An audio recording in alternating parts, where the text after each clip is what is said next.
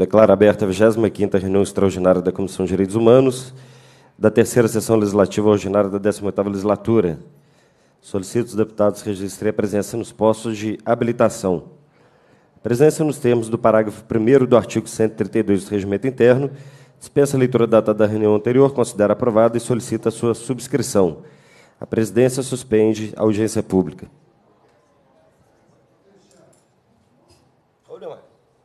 Firme. Que dia? Ah, mano.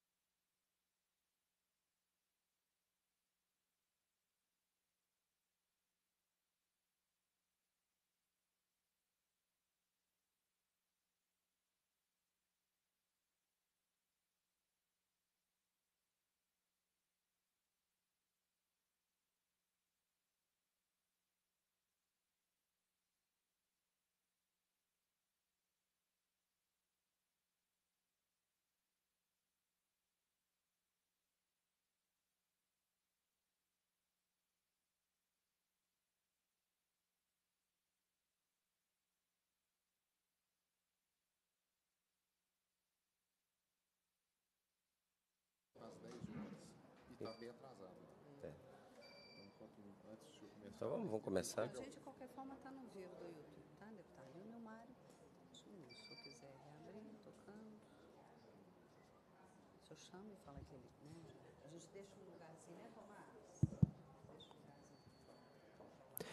Declaro reaberta a 25ª reunião extraordinária da Comissão de Direitos Humanos da terceira sessão legislativa ordinária da 18ª legislatura. Essa reunião se destina a debater o enfrentamento da violência e de homicídios que afetam principalmente a juventude negra e pobre e fazer o lançamento da agenda legislativa concernente ao problema e a receber, discutir e votar proposições da comissão. A presidência comunica que todas as reuniões da comissão estão sendo transmitidas ao vivo pelo portal da Assembleia Legislativa e aos membros dessa comissão que já está disponível o protocolo eletrônico de proposições pelos SELEGES. A presidência convida os seguintes convidados a tomar assento na nossa mesa. A senhora Priscila Ramalho, diretora de Juventude, representando Macaé, Macaé Maria Evaristo dos Santos, secretária de Estado de Educação senhora Ione Maria Gonzaga, superintendente de Políticas Afirmativas e Articulação Institucional, representando Cleide Hilda de Lima Souza, subsecretária de Políticas de Promoção da Igualdade Racial da Secretaria de Estado de Direitos Humanos, Participação Social e Cidadania. O senhor capitão Ricardo Gontijo Furro, representando o coronel Elbert Figueiredo de Lourdes, comandante-geral da Polícia Civil. Também convidamos o senhor Rômulo Luiz Veloso de Carvalho, defensor público, assessor institucional do gabinete, representando a defensora pública geral, Cristiane Neves Procorge Malarde. A senhora Fernanda Vieira de Oliveira, advogada, coordenadora do projeto Solta Minha Mãe e representante do coletivo Pretas em Movimento. Convido ainda o senhor João Vitor Martins Saraiva, Auto-Organização de Estudantes Negros das Ciências Sociais da UFMG, tudo nosso. O senhor Lucas da Silva Reis, membro do Instituto Tucum. E Mariana Salles de Abreu, estudante de Ciências Sociais da UFMG. Na medida da, da presença de demais convidados, a presidência fará o convite também para que possam compor a mesa. Enquanto isso, daremos início aqui à nossa discussão.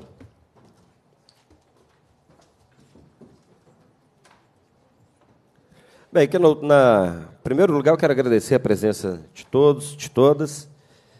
Importante presença no dia de hoje.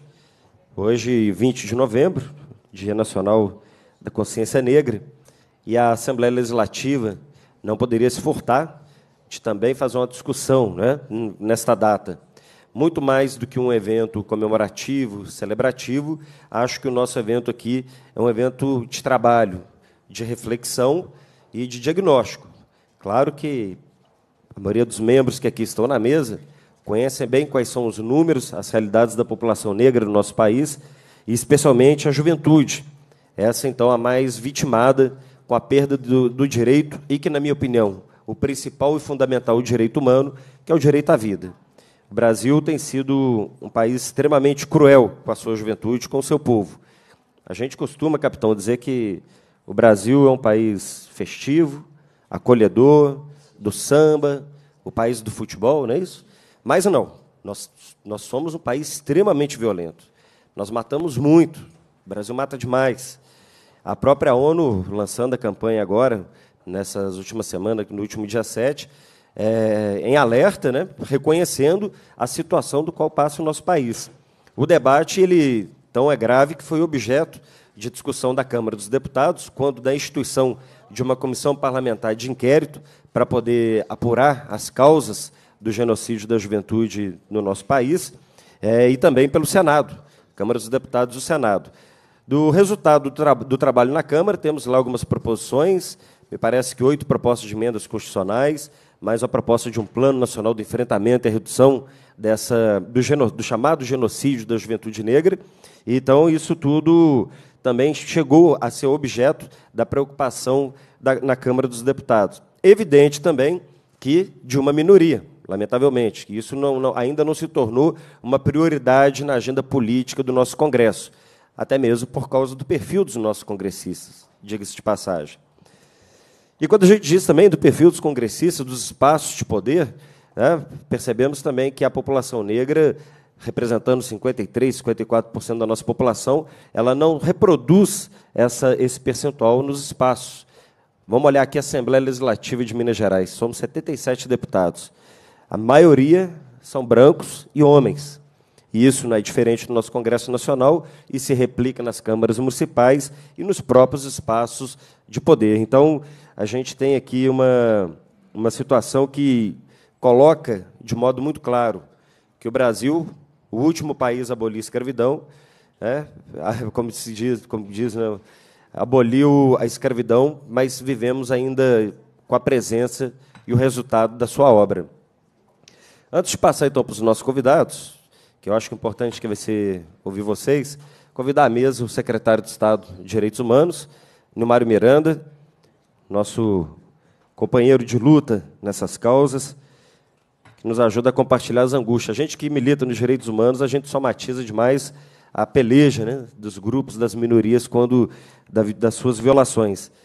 Neumário, por favor. Quero aqui pactuar, então, com os amigos. A gente tinha um vídeo para apresentar, e já está pronto, Lucas? Eu quero aqui, antes de passar para os nossos convidados, nós vamos passar aqui um breve vídeo para quem está nos acompanhando em casa, para ter um pouco, né, uma noção de qual é o nosso propósito no dia de hoje. Depois nós vamos passar a palavra para os convidados da mesa. A nossa dinâmica é até 10 minutos para cada se convidado. É negro, Só um minutinho, gente, dá um pause aí. A gente faz aqui a apresentação, a intervenção dos convidados, 10 minutos para cada convidado, havendo intervenções do público, abrimos a palavra, três minutos para intervenção, e depois as considerações finais com os encaminhamentos da audiência. Então vamos lá, vamos passar aqui o vídeo e depois as, as falas da mesa. A gente não sabe se você é branco ou negro, mas o que dá para afirmar é que esse fato define a sua vida.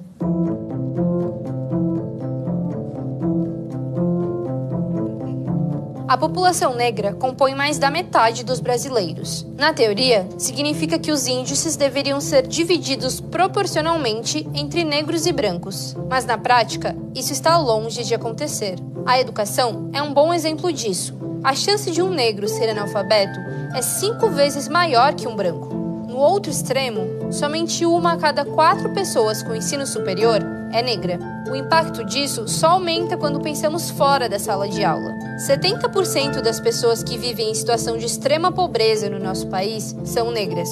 Pessoas com pele mais clara representam 80% dos brasileiros mais ricos. Isso tudo se reflete diretamente na qualidade de vida. Enquanto 70% dos brancos possuem uma máquina de lavar em casa, mais da metade dos domicílios chefiados por uma pessoa negra não tem o eletrodoméstico. O mesmo vale para a internet. Mais de 50% dos negros não possuem nenhum tipo de acesso à rede. Essa proporção também aparece em quesitos ainda mais essenciais para a vida humana. Quase 40% dos negros que vivem em áreas urbanas não possuem esgoto encanado. E 70% das pessoas que dependem do SUS são negras. A cor da sua pele também determina o seu tempo de vida. Em 10 anos, os homicídios de mulheres brancas caíram, enquanto que de negras aumentaram. E a morte não é só feminina. Somando os gêneros, a cada 12 minutos, uma pessoa negra é assassinada no Brasil. Também são os negros que mais morrem em operações policiais e ocupam a maior parte da população carcerária brasileira. Pode ser difícil para a comunidade negra mudar isso por dentro, porque ela quase não é representada nem no judiciário, nem no legislativo, muito menos no executivo. Essa defasagem não é de hoje. Historicamente, o Brasil é ultrapassado em representatividade racial. Ele foi o último país ocidental a abolir a escravidão. O Brasil é um país racista. E quem está dizendo isso não é a gente, é a ONU. E esse problema envolve tanto as esferas políticas que já citamos, como o nosso dia a dia. Precisamos debater o assunto e denunciar os preconceitos. Afinal, nossa vida não pode ser definida por apenas um conjunto de linhas.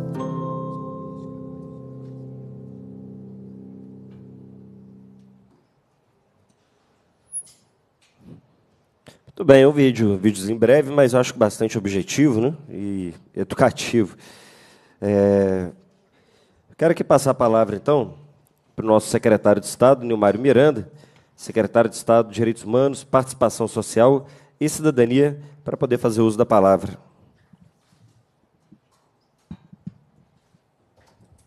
Bom dia a todos e a todas.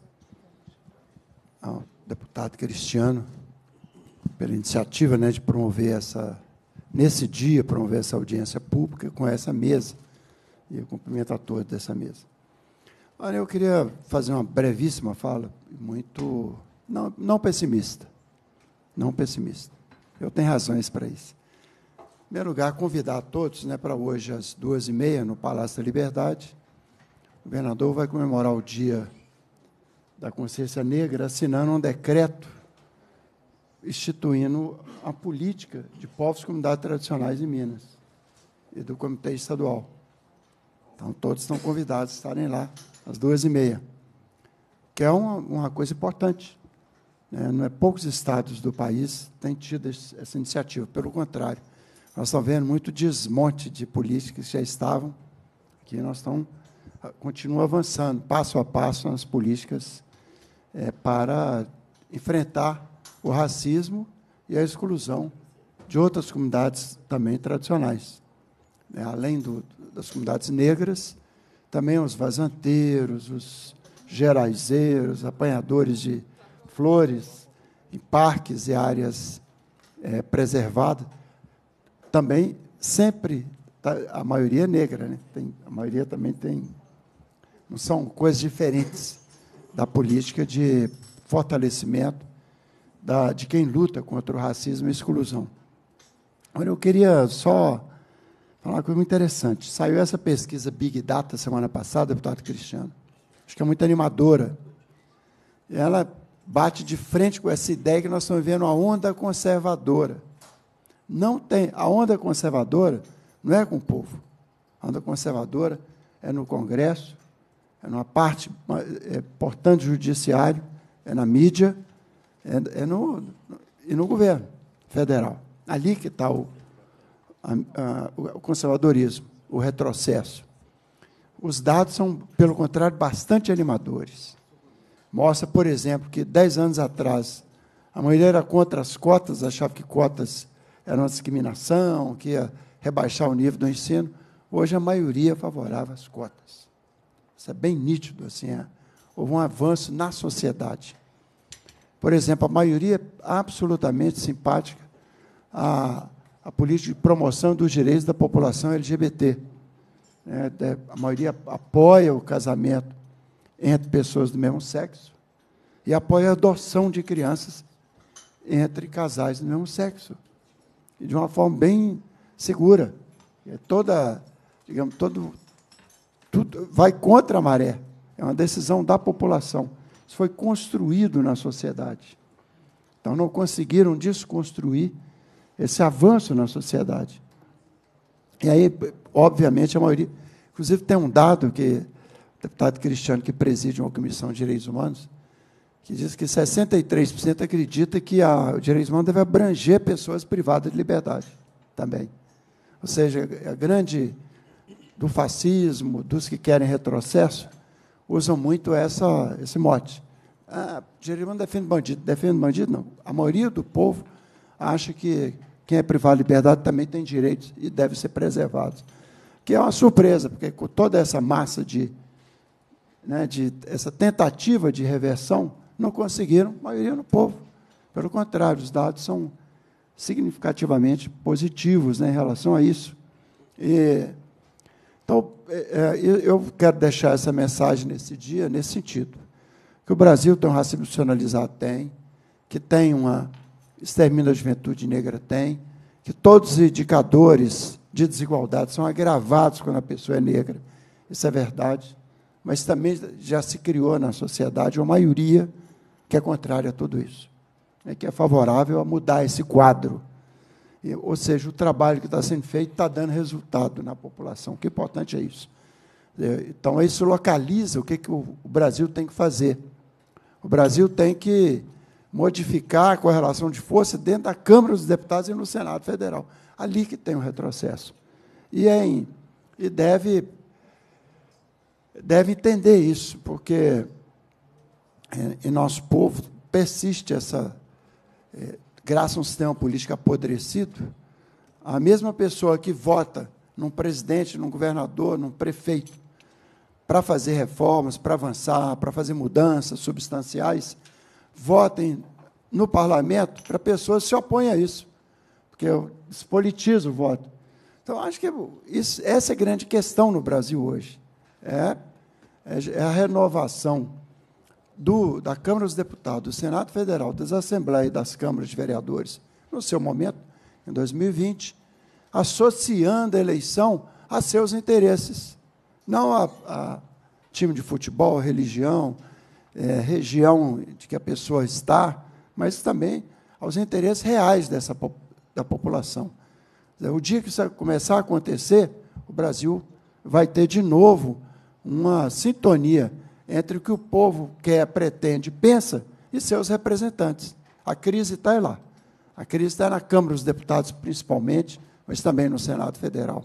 Ali que vem ali que você tem um, uma CPI que quer levar coercitivamente uma pessoa que vinha ligada a, a uma exposição artística que está sendo criminalizada. É esse que é o problema. Não é na, na sociedade. A sociedade é contra isso. A maioria é contra. Não vou subestimar também a quantidade de pessoas que têm essas posições. É, mas eu acredito que sempre teve é, 20% da população que tem saudade da ditadura, que queria, tem saudade da escravidão, tem saudade da Casa Grande, que é a favor do patriarcalismo permanecer, que é racista, que é homofóbico, que é, que é enfim, que é machista. Isso tem. Mas sempre teve. A única novidade agora é que eles, eles se sentiram fortalecidos, dado o golpe que aconteceu no país, esse golpe no ano passado, se sentiram fortalecidos para sair do armário, para vir a público externar isso, mas são minorias. E a pesquisa Big Data mostra que essa parcela é minoria, não é a maioria do povo. Não, os números não mentem nesse caso. É, foi uma pesquisa extensa e tudo mais. Então, acho que nós temos essa, essa coisa animadora, deputado Cristiano, é de continuar trabalhando, mas também ter esse foco. Nosso problema está na representação política, que não representa mais o povo brasileiro como tal está no, no governo golpista e está no, no aparato judiciário que está revelando essa, essa propensão machista, homofóbica e racista. É esse que nós temos que. É o debate que a gente tem que fazer nesse país, é, encaminhar para isso. E, de forma alguma, abrir mão de, de tudo que nós temos defendido para essa dívida histórica que o Brasil tem. E repetir aqui, que eu tenho falado sempre, já falei várias vezes nessa comissão aqui, que enquanto não, enquanto não tiver um avanço na, na questão da desigualdade e da discriminação da população negra, e um avanço na luta contra a desigualdade com as mulheres, não haverá verdadeira democracia no Brasil. Nós teremos uma democracia meramente formal. Então, democracia verdadeira é votar sim, respeitar o resultado. É, né? O artigo 1 da Constituição fala: todo poder emana do povo, seu nome ser exercido, pelos meios representativos, então ali que está nosso problema, pela democracia direta e pela, pela participativa. Né? E daí também a minha simpatia enorme, deputado Cristiano, para todas as propostas que visem, depois de 2018, é fazer referendos revogatórios dessas emendas é, constitucionais e leis votadas nesse período, que significa retrocesso sobre conquistas já, já asseguradas por, nosso, por nossa Constituição, defendê-la, revogar tudo que que entra nos pilares dela, que são os pilares que envolvem a mulher, o negro, a democracia, a participação do povo. Esse, esse, esse é o ponto que o Brasil precisa avançar. Né? Então, parabéns aí, a deputada Celis chegando aí também, por essa audiência. Agora, eu queria pedir, a, a Ione Gonzaga, ela, na secretaria, trabalha na, na subsecretaria de Igualdade Racial, numa área fundamental, que é das ações afirmativas, todas elas, mas essa em particular, ela ficaria representando a nossa secretaria. Obrigado, deputado. Parabéns pela audiência.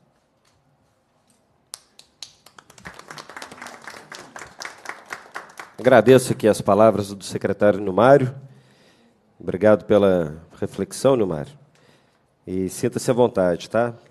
Para permanecer, ou se precisar retirar pelos seus outros compromissos, você está, como diz, está tá liberado, positivamente liberado. Mas obrigado pela presença. E bem representado. Né? Aqui está junto conosco a deputada Celise Laviola, nossa vice-presidente da Comissão de Direitos Humanos. Quero aqui também cumprimentar Flávio Renegado, convidá-lo aqui, acabou de chegar, vim para a mesa também junto conosco, viu, Flávio? Estamos começando agora o nosso debate sobre a situação da, da população negra no, no país, especialmente a juventude negra, né? tão vitimada. Para a gente combinar aqui, pessoal, porque eu acho que fica uma dinâmica mais interessante, eu vou passar para o deputado, se ele se desejar fazer uma consideração inicial, e depois para os demais convidados.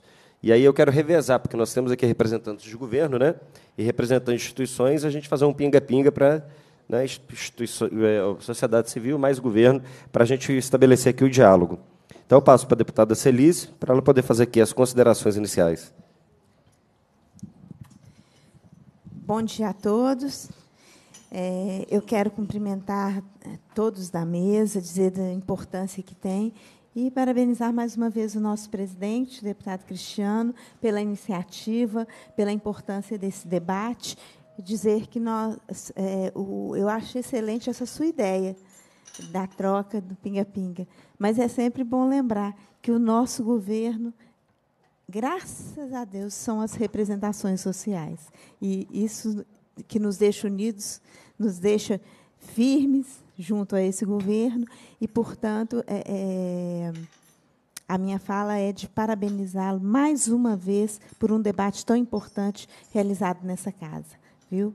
Parabéns, parabéns a todos e muito obrigada a todos que estão participando e se envolvendo num assunto de tamanha importância. Bom dia. Obrigado, Celise. Celise é a nossa vice-presidente, viu, gente, aqui da comissão. Tem nos ajudado muito aqui nos trabalhos.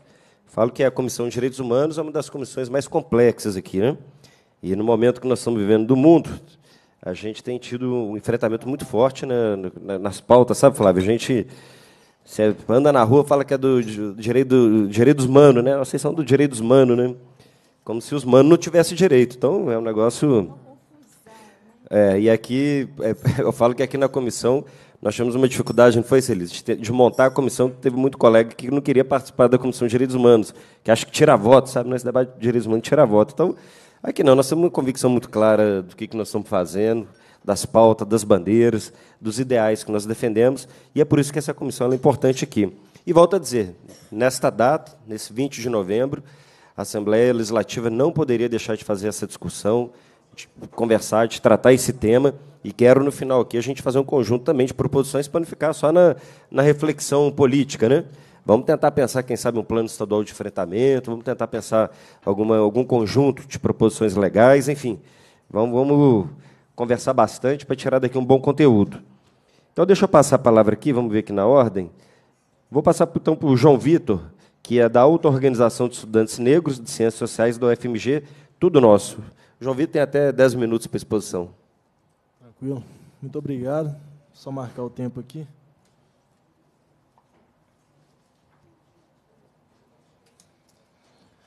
É, bom dia, bom dia à mesa, bom dia a todo mundo que está assistindo. Queria começar falando uma frase, é, que todos os dias, dentro das periferias, morrem empresários, professores, médicos, advogados, secretários e políticos. Todos os dias. Dentro das periferias. Ou talvez morreriam se essas pessoas tivessem chegado até lá é, a maioria dessas pessoas não consegue atingir essa profissão. Né?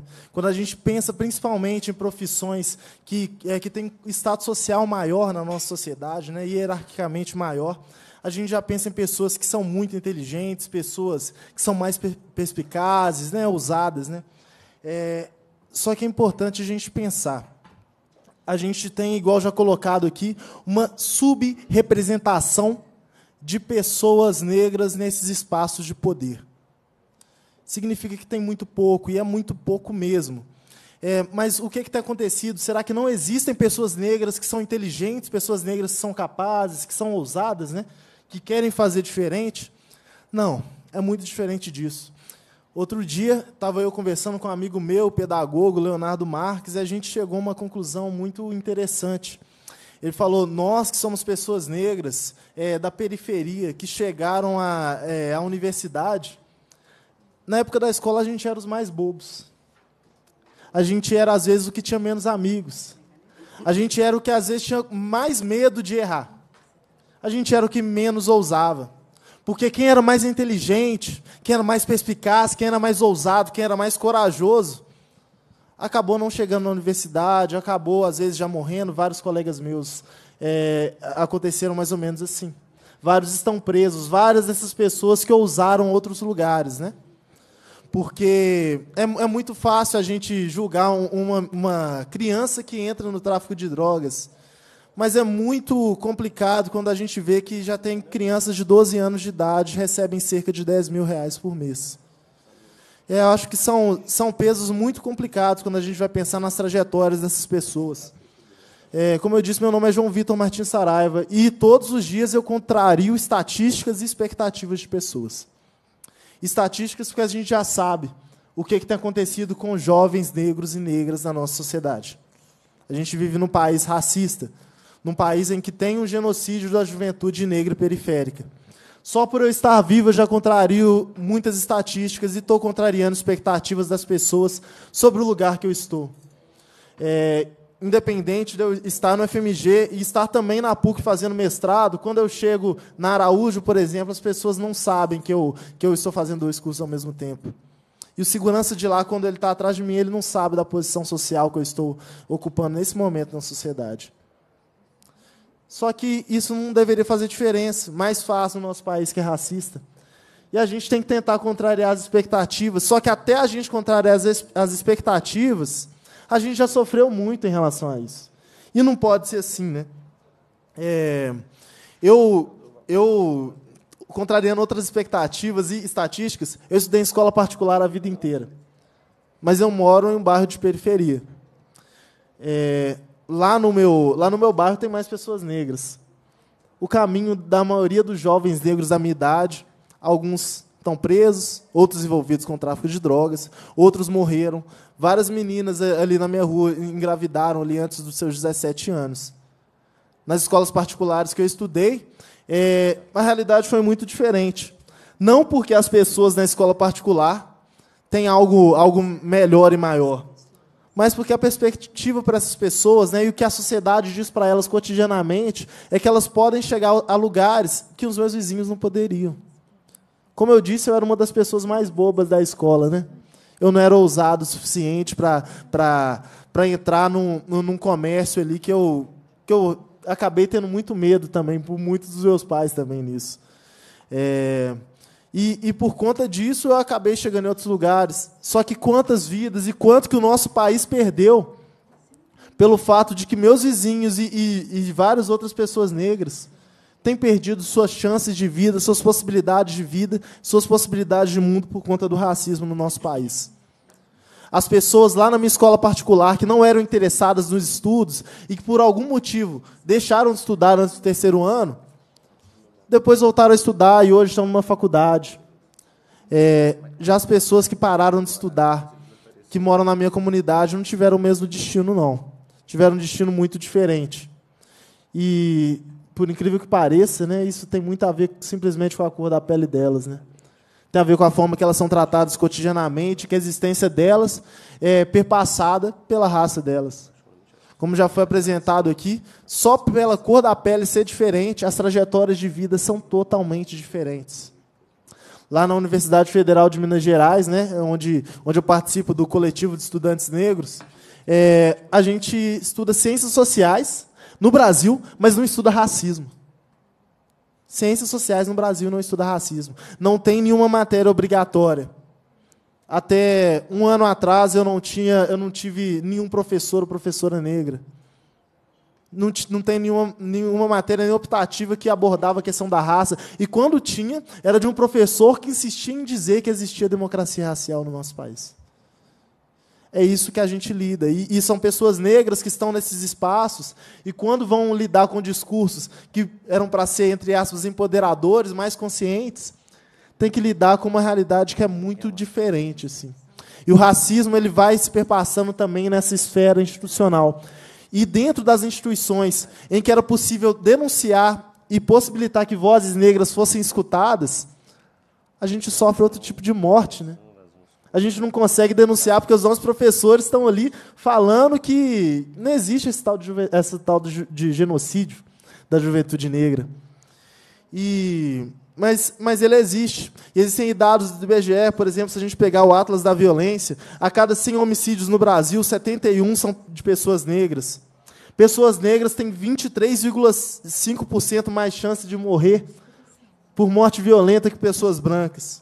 Se a gente pega o índice de vulnerabilidade juvenil e a questão da raça, a gente vê que dentro de Minas Gerais, eu, por ser negro, tenho 2,2 é, é, mais chances de morrer do que uma pessoa branca, só pela cor da minha pele. Quando a gente atravessa outros relatórios, como o mapa do encarceramento, a gente vê a questão da seletividade racial. Né? As penas para pessoas negras são mais severas que para pessoas brancas pelo mesmo crime. Não é que a cadeia está cheia de negros simplesmente porque negro está cometendo mais crime, não. Até o tempo que as pessoas estão permanecendo lá tem a ver com, com a forma com que o juiz está ali dando a pena para ela, no fim das contas. E lá dentro das penitenciárias, lá dentro dos presídios, lá sim a gente não tem uma subrepresentação de pessoas negras. Lá a gente tem uma sobre-representação de pessoas negras o número de pessoas negras encarceradas é muito superior ao de pessoas brancas e a nossa sociedade está calada em relação a isso. A gente está colocando várias pessoas negras lá escondidas. Assim como elas estão escondidas das pessoas em grandes espaços de poder, porque as pessoas negras são nas periferias, a gente tem escondido as pessoas negras, entre aspas, desviantes, dentro das penitenciárias. Mas isso não é gratuito. Porque nós, pessoas negras que não estamos dentro da penitenciária, que, que não morremos ou ainda não morremos pelas mãos da polícia, a gente está aí lutando e tentando vocalizar tantas vozes que estão lá dentro das penitenciárias no dia de hoje, nesse dia 20 de novembro. Quantas pessoas negras estão distantes das suas casas? Às vezes cumprindo é, penas muito mais severas do que o crime que cometeram. Né? E também pensando sobre essas estatísticas, eu acho essencial a gente pensar. É, será que simplesmente só pessoas negras cometem tantos crimes? Existe um estudo que chama a marca de Caim, que vai refletir sobre a construção do indivíduo suspeito. É, a gente vai ter uma fala de um policial, ele vai poder até abordar essa questão de uma maneira melhor.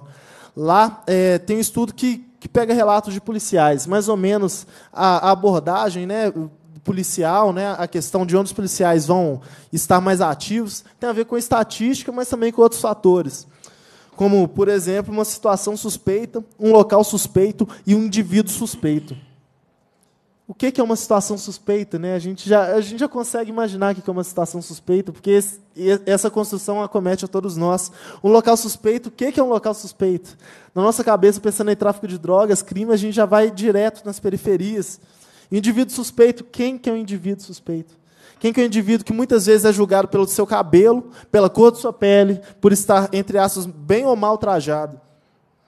A questão é que isso é muito complexo local suspeito, eu, eu participo do, do bloco de funk com Maracatu, que é o bloco Sarradar, que surgiu esse ano aqui em Belo Horizonte. E a gente já esteve se engajando na questão de lutar contra a criminalização do funk na nossa cidade. Nossa cidade no Brasil como um todo. É, os baile funks, os baile normalmente são muito citados como locais suspeitos, porque lá tem um grande consumo e comércio de drogas.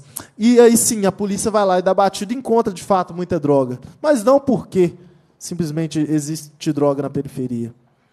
Por que, que a polícia faz batida no baile funk, mas não faz batida em rave? Desde a convenção da ONU da década de 70, as drogas que, que estimulam a psicodelia elas, estão, elas, são, elas são criminalizadas. Mas por que, que a polícia não faz batida em rave? Eu li uma, uma reportagem falando: é, existem pessoas que vão em rave e não usam drogas, mas essas drogas são proibidas. Por que, que. Assim, não faz sentido ser absurdo isso, né? Mas é. Mas quem que são as pessoas que normalmente estão nas raves? Qual que é a cor dessas pessoas? A gente está falando é de cor de pele, sim. Qual que é a classe social dessa pessoa? E é disso que a gente está falando. É necessário, então, a gente, a gente pensar muito sobre isso, porque vidas negras importam, importam muito. E quando chegam pessoas brancas e falam que vidas brancas importam, eu me indigno muito. Me indigno muito, mas ao mesmo tempo eu entendo. Elas simplesmente não querem que as vidas brancas sejam tratadas da mesma maneira que vidas negras são tratadas. Só que não é isso que a gente quer, a gente só quer ser tratado igual, como se a gente fosse cidadão brasileiro igual você, as pessoas brancas. Mas pessoas brancas também têm um lugar muito importante na nossa luta contra o racismo. A gente tem toda uma história da África que, que mostra que pessoas negras não precisam de pessoas brancas. Mas dentro do Brasil, em que a gente divide espaços o tempo inteiro, a gente precisa dessas pessoas para a luta antirracista. Precisa de forma urgente. E a gente precisa, muito além da empatia, a gente precisa do esforço e da atitude, que muitas vezes esse movimento final não tem. Então, é, eu agradeço mais uma vez o convite de estar participando. E eu quero seguir com todas essas pessoas, pessoas negras e pessoas brancas. A gente necessita do esforço de todos nós aqui. Necessita da atitude de todos nós. Porque eu não quero ver minha mãe chorar por minha morte, eu não quero ver mães negras chorando por morte de, de jovens negros mais. É, é isso, muito obrigado.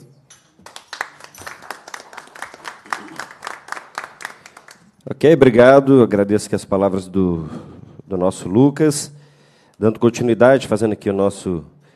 nosso o João, ah, o João, é o João, não é o Lucas, não, esse é o João. Tá bom? Agora eu vou passar a palavra para nossa Ione Maria Gonzaga, que é superintendente de políticas afirmativas e articulação institucional, representando a Cleide Hilda de Lima Souza, subsecretária de Políticas de Promoção da Igualdade Racial da SEIDPAC.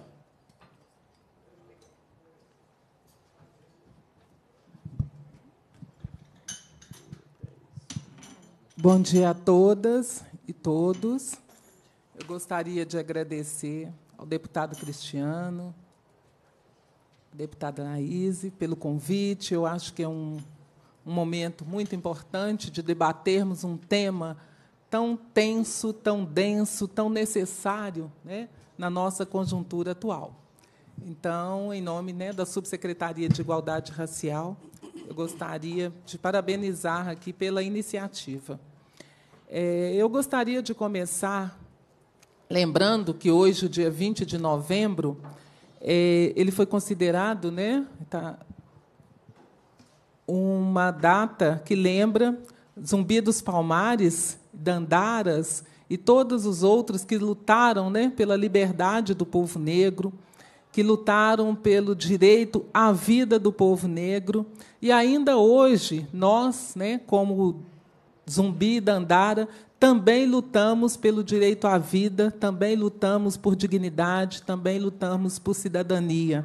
20 de novembro lembra né, esses nossos ancestrais, mas lembra também que nós temos muita, muita, muitos enfrentamentos ainda pela frente. Os dados né, apontados no vídeo que assistimos anteriormente e os dados apresentados né, pela mídia hegemônica, sobretudo, é, mostram que negras e negros ainda são as principais vítimas da violência no Brasil.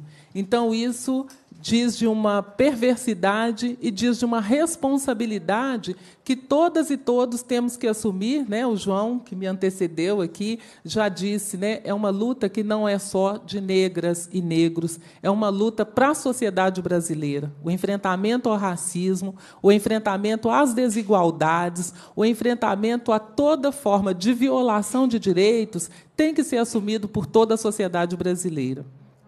É, eu gostaria de pensar é, a questão do genocídio da juventude negra. Né? Nós, é, dos movimentos sociais, falamos do genocídio, embora, do ponto de vista conceitual e acadêmico, algumas pessoas divirjam desta expressão do genocídio, mas o que a gente assiste no cotidiano é, de fato, alarmante.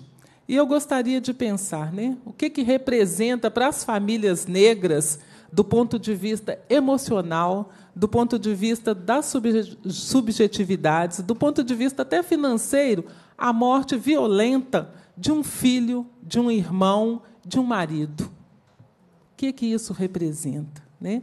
Quais são as implicações para as políticas públicas? Né? Nós estamos gestoras e gestores públicos, então o que, que isso representa para as políticas públicas? Mas se isso não causa nenhuma indignação, nenhum sentimento para a sociedade brasileira e a gente vê um silenciamento, né? Essa, esses dados eles geralmente são lembrados em momentos como esse, né? 20 de novembro, temos que falar de negros, o que falar, né? Então eles vêm à, à, à tona. Mas se isso não causa indignação, né? Podemos pensar então do ponto de vista econômico, já que quando a gente fala de bolso, né, de recurso, isso impacta. O genocídio de tantos jovens trazem implicações para a economia do país. Né? São milhares de braços né, que deixam de ir para o trabalho, são milhares de contribuintes para a previdência social, né? traz implicações também políticas. São milhares de votos que são perdidos né, então, nós precisamos pensar, né? e muito mais que isso, precisamos agir. Né? Esses questionamentos, do ponto de vista econômico, eles têm sido feitos recorrentemente por economistas nacionais. Nós tivemos um evento recentemente com o Márcio Postman e com economistas internacionais também né, criticando a posição e silenciamento do, do Brasil diante né, dessa mortalidade da juventude negra. Este é o terceiro evento que eu participo aqui na Assembleia Legislativa para discutir essa temática. Não é? Nós discutimos a violência contra a juventude, no início do ano, no 21 de março, também discutimos não é? o genocídio da juventude negra, mas eu fico pensando: o que mudou?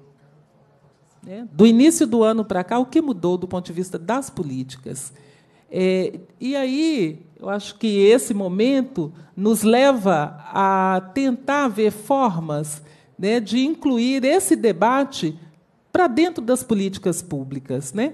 De que forma as audiências públicas têm contribuído para alterar as prioridades da política, porque nós precisamos, já que temos vários diagnósticos, ter estratégias de enfrentamento né, a esses diagnósticos, enfrentamento a essa realidade. Proposição de, de ações públicas não é, que, de fato, vão reduzir né, todos esses indicadores. É, e aí, nesta mesma perspectiva, no final de outubro, nós tivemos a sociedade civil né, trazendo para essa casa proposições para o PPAG? De que forma, então, no PPAG serão disponibilizados recursos para o enfrentamento a toda forma de violência e do genocídio da juventude negra? É, eu penso que o genocídio ele deve ser entendido como uma linha, como um final da linha de ausência de direitos e de violação dos direitos né, do povo negro. Né, eu acho que a gente pode pensar. Desde o nascimento, os jovens e as jovens negras né, recebem um número menor de assistência. Né? Então, se a gente vai pensar nas maternidades que são sucateadas, na ausência de profissionais para atender, no campo da educação, né, esta violação se apresenta na ausência da história e cultura africana e afro-brasileira nos currículos, a falta é, de representação é, em professoras e professores negros. Né? Nós temos hoje a Lei 10.639, que fala né, desta obrigatoriedade, mas vários professores e professores e gestores é, se negam a trazer para dentro das salas de aula essa temática, porque acham que discutindo história e cultura africana vão dividir, né? vão incentivar racismos e discriminações. Muito pelo contrário, né? nós queremos encontrar os valores e falar dos valores eh, negros que há né, em toda essa história e essa cultura. Os negros sofrem violência do campo do lazer, né? e o lazer muitas vezes é pensado só do ponto de vista de futebol, e aí tem quadras é, com estruturas precarizadas, mas e outras formas de lazer do ponto de vista da saúde, os atendimentos precários, do ponto de vista da religião de matriz africana, né? o sagrado é profanado, o sagrado é demonizado e é violado. Nós temos visto vários ataques aos templos, aos terreiros. Né? É, do ponto de vista dos territórios quilombolas, que também não são respeitados. Então, há várias formas de violação dos direitos que ao final, a gente vai vendo que sobra poucas alternativas para muitos jovens, não é? Como o, o João falou aqui, muitas vezes esses jovens não têm para onde correr. Muitas vezes é fácil a gente é, dizer, né, de caminhos tortuosos que a juventude vai trilhando, mas a gente não para para pensar no quanto é, a sociedade e o Estado também vão sendo negligentes com as suas juventudes. Então, é, trazer essas reflexões nesse 20 de novembro é necessário. Né? É uma responsabilidade, como eu já disse, que é da sociedade, né? e a gente tem vários indicadores apontando isso. Uma sobre-representação negra nos presídios, o mapa da violência né? É, informa isso, a pesquisa da ONU também traz esses dados, e a nossa vivência né? na nas vilas e favelas vão mostrando que, que esses dados eles são cada dia mais intensos. Né? É, no atual governo, eu estou na Subsecretaria de Igualdade Racial, a gente tem desenvolvido várias políticas. Né? Eu poderia citar, assim, do ponto de vista da Secretaria de Direitos Humanos, a nossa pauta é uma pauta transversal, né? nós não é, executamos a política, mas nós dialogamos é, com as outras secretarias para a implementação destas políticas de enfrentamento ao racismo e promoção da igualdade racial. A gente poderia citar aqui, no campo da educação, o programa Afroconsciência, é, podemos citar o programa de enfrentamento à pobreza no campo, os programas de segurança alimentar, é, na Secretaria de Direitos Humanos, é, o processo de formação dos gestores para que eles compreendam a dimensão estrutural do racismo né, e, e passem a colocar essa prioridade nas suas políticas. O programa Reintegra, que trabalha com é, pessoas em privação, né, é, vindas de, de privação de, de, liberdade, que estão nesse processo de quase semi-liberdade, então, trabalhando na secretaria, programas de enfrentamento e combate ao racismo religioso. Então, nós temos vários, vários programas sendo desenvolvidos, mas essas políticas ainda são insuficientes. Precisamos avançar e a Assembleia Legislativa tem uma uma possibilidade de caminhar nesse sentido. Né? É, a Comissão de Direitos Humanos, de, de maneira especial, pode contribuir muito para este debate e com medidas efetivas. É, a gente vê que a cada mês de novembro são constatadas essas mazelas do racismo. Né?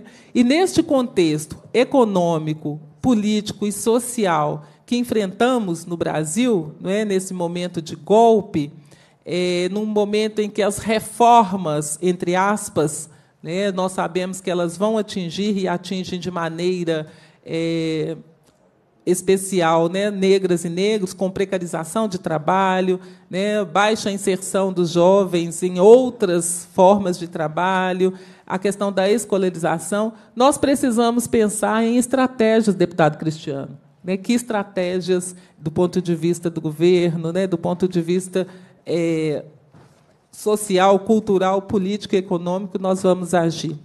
Recentemente, a ONU definiu né, o período de 2015 a 2024 como a década do afrodescendente, como uma estratégia de se fazer com que o Estado reconheça né, cidadãs e cidadãos negros é, como cidadãos de fato, não é? e não meramente do ponto de vista formal, que garanta políticas que promovam justiça social, pois só assim será possível desenvolver né, o país e só assim nós teremos uma democracia efetiva. Por essa razão, a ONU realizou, né, no início do mês de novembro, o lançamento da campanha Vidas Negras, né, bem dentro da perspectiva de que vidas negras importam. E nós já temos visto né, vários ataques nas redes sociais à atriz né, Araújo, que foi que está sendo né, uma das protagonistas dessa campanha, dizendo que o que ela falou na campanha de do racismo, de que o filho dela, por ser uma criança negra, ele sofre discriminações, que tudo isso é mimimi, que tudo isso é invenção. Né? Quando nós olhamos, né, eu sou mãe de dois jovens negros, eu sei do que ela está falando, da realidade do que ela está falando, assim como o colega que me antecedeu também fala com muita propriedade de situações em que ele vive. Né? Então, não é possível a gente é, pensar em reverter as situações de genocídio se a gente não enfrentar né, todas essas mazelas que estão aí colocadas, né, é, todos estes é, é, é, depoimentos de ódio, discursos de ódio que a gente tem visto pela mídia e toda forma de desconsiderar e invisibilizar as pautas negras que são colocadas. Né? Hoje a gente vê um discurso muito frequente de que nós todos somos raça humana ou de que nós todos somos iguais. Né? Nós somos iguais, deveremos ser iguais em direitos e oportunidades. E para que a gente, de fato, tenha esta igualdade, várias frentes precisam ser criadas. Né? Os jovens e as jovens negros precisam ter os seus direitos respeitados, o direito de ir e vir, o direito à cidade, o direito de transitar pela cidade e, sobretudo, o direito à vida, que é o direito mais digno. Né? E, para finalizar, eu gostaria de lembrar que este debate precisa ser assumido, né, como bem disse o João, por toda a sociedade. E, e lembrar uma fala da Angela Davis, a ativista norte-americana, quando esteve em Salvador em julho, ela mandou um recado às pessoas brancas. Ela disse: diante de tantas iniquidades, não basta só não ser racista. É preciso ser antirracista. É preciso agir e agir de forma urgente. Né? Então, vidas negras importam, vida para a juventude negra. Muito obrigada.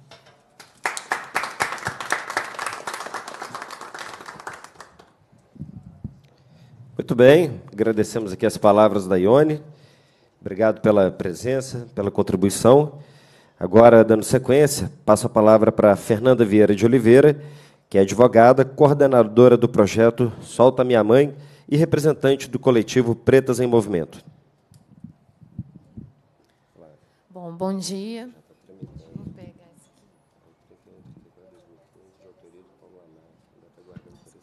Bom, bom dia. Primeiro, agradecer ao deputado Cristiano pelo convite e parabenizar pela iniciativa. É difícil falar depois da Ione e do João, assim, mas vamos lá. É, primeira coisa, é, eu sou advogada, sou criminalista, sou formada há 15 anos, exerço a profissão há 15 anos, e aí eu vou tentar construir um pouco a fala a partir do, desse lugar. Mas sem desconsiderar elementos que são mais gerais e que a gente precisa ter eles mais presentes nas nossas, nos nossos debates e nas nossas falas. É, algum tempo atrás, uma companheira Monique Evelyn, né, em um vídeo no YouTube e tal, falou uma coisa que me contemplou muito.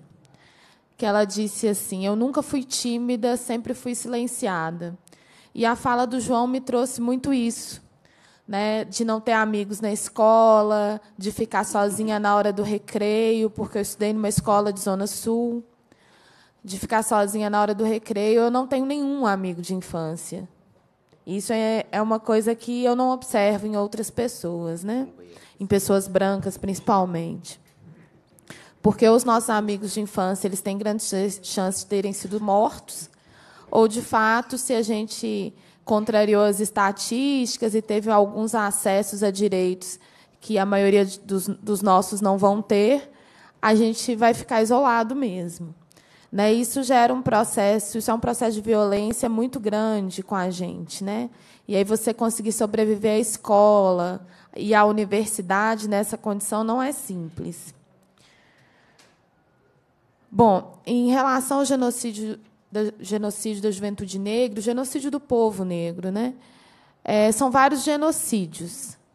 Né? A gente tem o ápice dele, que é a morte do corpo físico, mas a gente passa por vários outros ao longo da vida. O genocídio da nossa cultura, o genocídio da nossa história, o genocídio da nossa ancestralidade, o genocídio de tudo que é ligado a nós. Tudo que é ligado a nós passa a ser tolerável, aceitável, bonito, elegante, interessante, cult, quando os brancos começam a vivenciar isso também. E a gente pode dar exemplos. O samba e a capoeira são os exemplos mais clássicos disso. As religiões de matriz africana hoje vivem um momento especial de ataque. Né?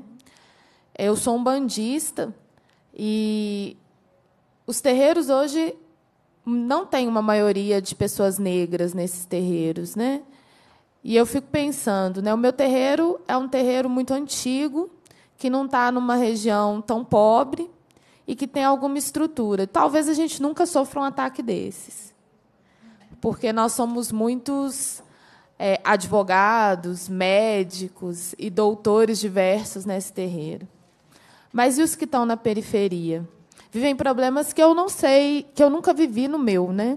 Mas que eu preciso de ter mais que empatia, eu preciso ter ação em favor de que todo mundo possa exercer sua religiosidade da forma que, que te faz mais feliz. E aí, quando a gente chega ao ápice desse genocídio, que é o extermínio do nosso corpo, do nosso corpo físico, simplesmente por ser negro ou negra, a gente entra numa seara que gera muita, muita controvérsia. E a gente entra numa seara que, em regra, o Estado vai buscar é, explicar esses homicídios sem considerar de forma central uma questão muito objetiva. O racismo no Brasil é estrutural. E esse racismo estrutural gerou uma dívida histórica com o povo negro, que precisa ser reconhecida para que se inicie um processo amplo de reparação. Cada conquista nossa precisa e deve ser comemorada por cada um de nós. Mas não é uma benesse, não é um favor, não é uma generosidade de um governo ou outro. É dever, é obrigação. Nós carregamos esse país nas costas. Nosso chão desse país foi lavado com o nosso sangue e continua sendo lavado com o nosso sangue. Então, não dá para a gente interpretar a construção de políticas públicas de reparação do que foi feito com o povo negro, é, entendendo que quem o faz está fazendo uma, um grande favor. Não é. É dever. A luta é nossa. Se as políticas existem, são pela luta do movimento negro. Se hoje se fala sobre isso nessa audiência pública, é porque muita gente lutou antes. Muita gente antes de mim, muita gente que eu sequer conheci. Eu estou numa condição, né? É, eu estou modificando essa compreensão, né? Que eu tive acesso a, a muitos direitos, não são privilégios, são acesso a direitos. Acesso a direitos que não nasceram comigo. Acesso a direitos que eu tive que lutar muito para conquistá-los e que muita gente lutou muito antes de mim para conquistá-los. E eu sei que quando eu entrei na universidade, que eu fui a primeira pessoa entre todos os irmãos da minha mãe, com todos os seus filhos, a entrar numa universidade, hoje são dois, eu e meu irmão, é, eu consegui acessar aquele lugar porque eu tive uma condição diferente de, dos outros e que eu vi muitos jovens de periferia, na periferia, onde eu sempre, quase sempre trabalhei, verem a universidade como um espaço inalcançável, um espaço impossível, um espaço que não é nosso.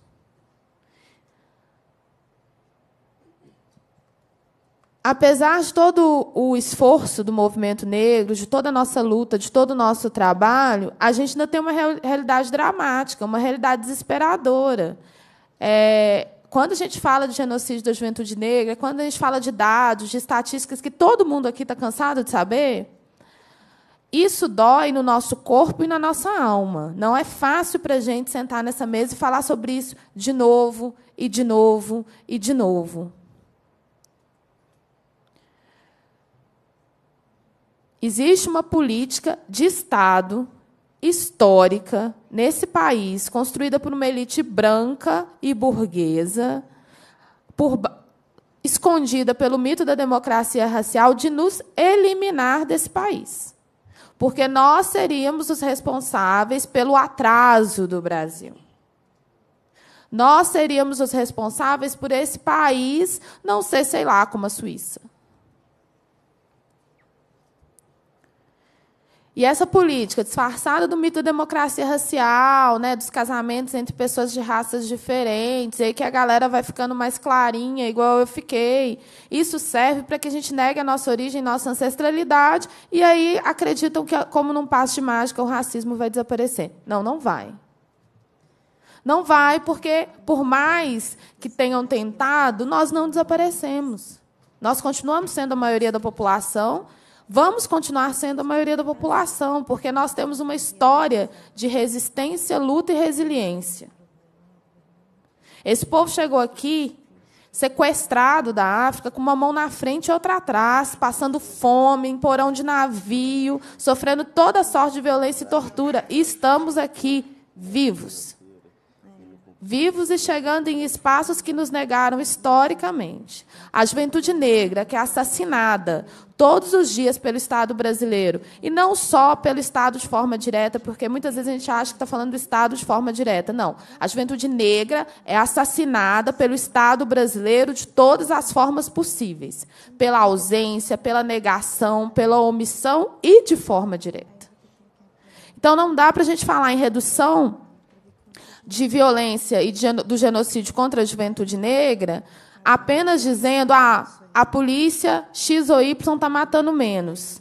Enquanto os índices globais não reduzirem, o Estado está matando. E o Estado somos todos nós.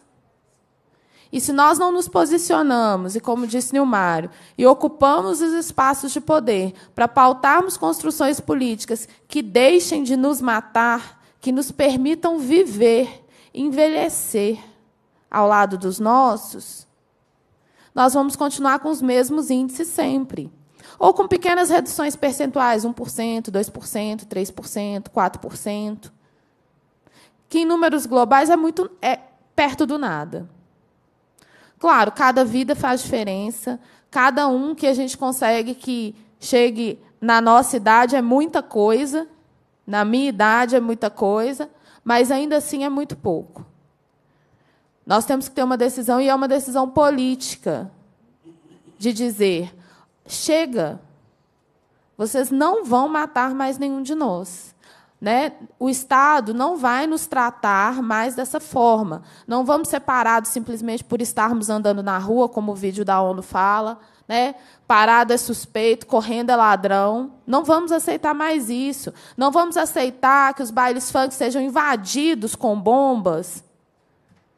Simplesmente porque supostamente ali se vende muita droga, como se não vendesse muita droga na cidade inteira. Isso é uma desculpa muito triste. Muito, muito triste, muito vergonhosa. Não vamos aceitar mais que nossos espaços e nossa forma de lazer seja criminalizada. Não vamos aceitar mais que a nossa ancestralidade religiosa seja transformada em prática criminosa ou coisa do demônio, como alguns dizem, e nós nem acreditamos nisso. Não vamos aceitar mais que a nossa cultura seja apropriada pelo branco para se tornar palatável. Não vamos aceitar mais, e com isso eu encerro a minha fala, que nós sejamos só uma cota em uma mesa ou sejamos lembrados em dias específicos do ano. Como disse o deputado, nós precisamos ter uma Assembleia Legislativa que represente a realidade do nosso povo. Uma Assembleia Legislativa de maioria de homens brancos não reflete o nosso país, não reflete o nosso Estado, não reflete nada. Nós precisamos de uma Assembleia Legislativa que tenha a nossa cara, e a nossa cara é preta, é de maioria de mulheres, não é de homens brancos. E aí cumpre a quem está nessa condição de privilégio de nascimento estar ao nosso lado nessa luta, sim. E dar um passo atrás se for preciso, sim. Porque esse é o papel do branco na luta antirracista: estar ao nosso lado, não estar na nossa frente, nem falando por nós.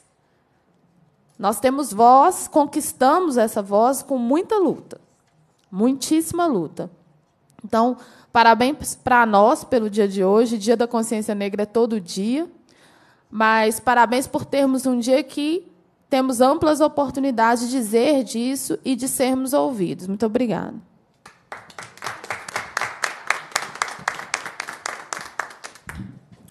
Muito bem, agradecemos as palavras da Fernanda Vieira. Quero passar já a palavra em seguida para o capitão Ricardo Forró, representante do comandante Elbert Figueiredo de Lourdes, comandante-geral da Polícia de Minas Gerais. Bom dia a todos. É, eu gostaria de, de, eh, relembrar um pouco a, a sua fala inicial, deputado Cristiano. Quando você fala que o Brasil mata muito, e realmente o Brasil é um país que mata muito, né? Há toda uma construção de que o, Brasil seria um, um, país amistoso e pacífico, mas na verdade nós temos índices é, de homicídio, na verdade, assustadores. É, eu tive a oportunidade de fazer um, um curso internacional de polícia comunitária no Japão, onde cada aluno de cada da turma era de um país diferente. E quando a gente apresentava os dados de homicídios no, no país, é, a gente percebia num grupo de 15 pessoas de países diferentes o quanto que eles se assustavam com os índices criminais do Brasil. Na verdade, a gente tem número de, de guerra civil. Né? É, é muito triste para mim, por exemplo, eu que fiz um amigo do Afeganistão nesse curso, eu comparar os homicídios é, que ocorrem no Afeganistão e no Brasil e saber que a gente tem números piores que o Afeganistão, que tem guerra civil contra o Talibã. E da mesma forma que o Brasil mata muito, o Brasil é o país que mata mais policiais no mundo. E da mesma forma morrem mais policiais no Brasil do que policiais no Afeganistão. E isso é uma coisa que eu acho que é, é, é bem triste quando você pega esses dados oficiais.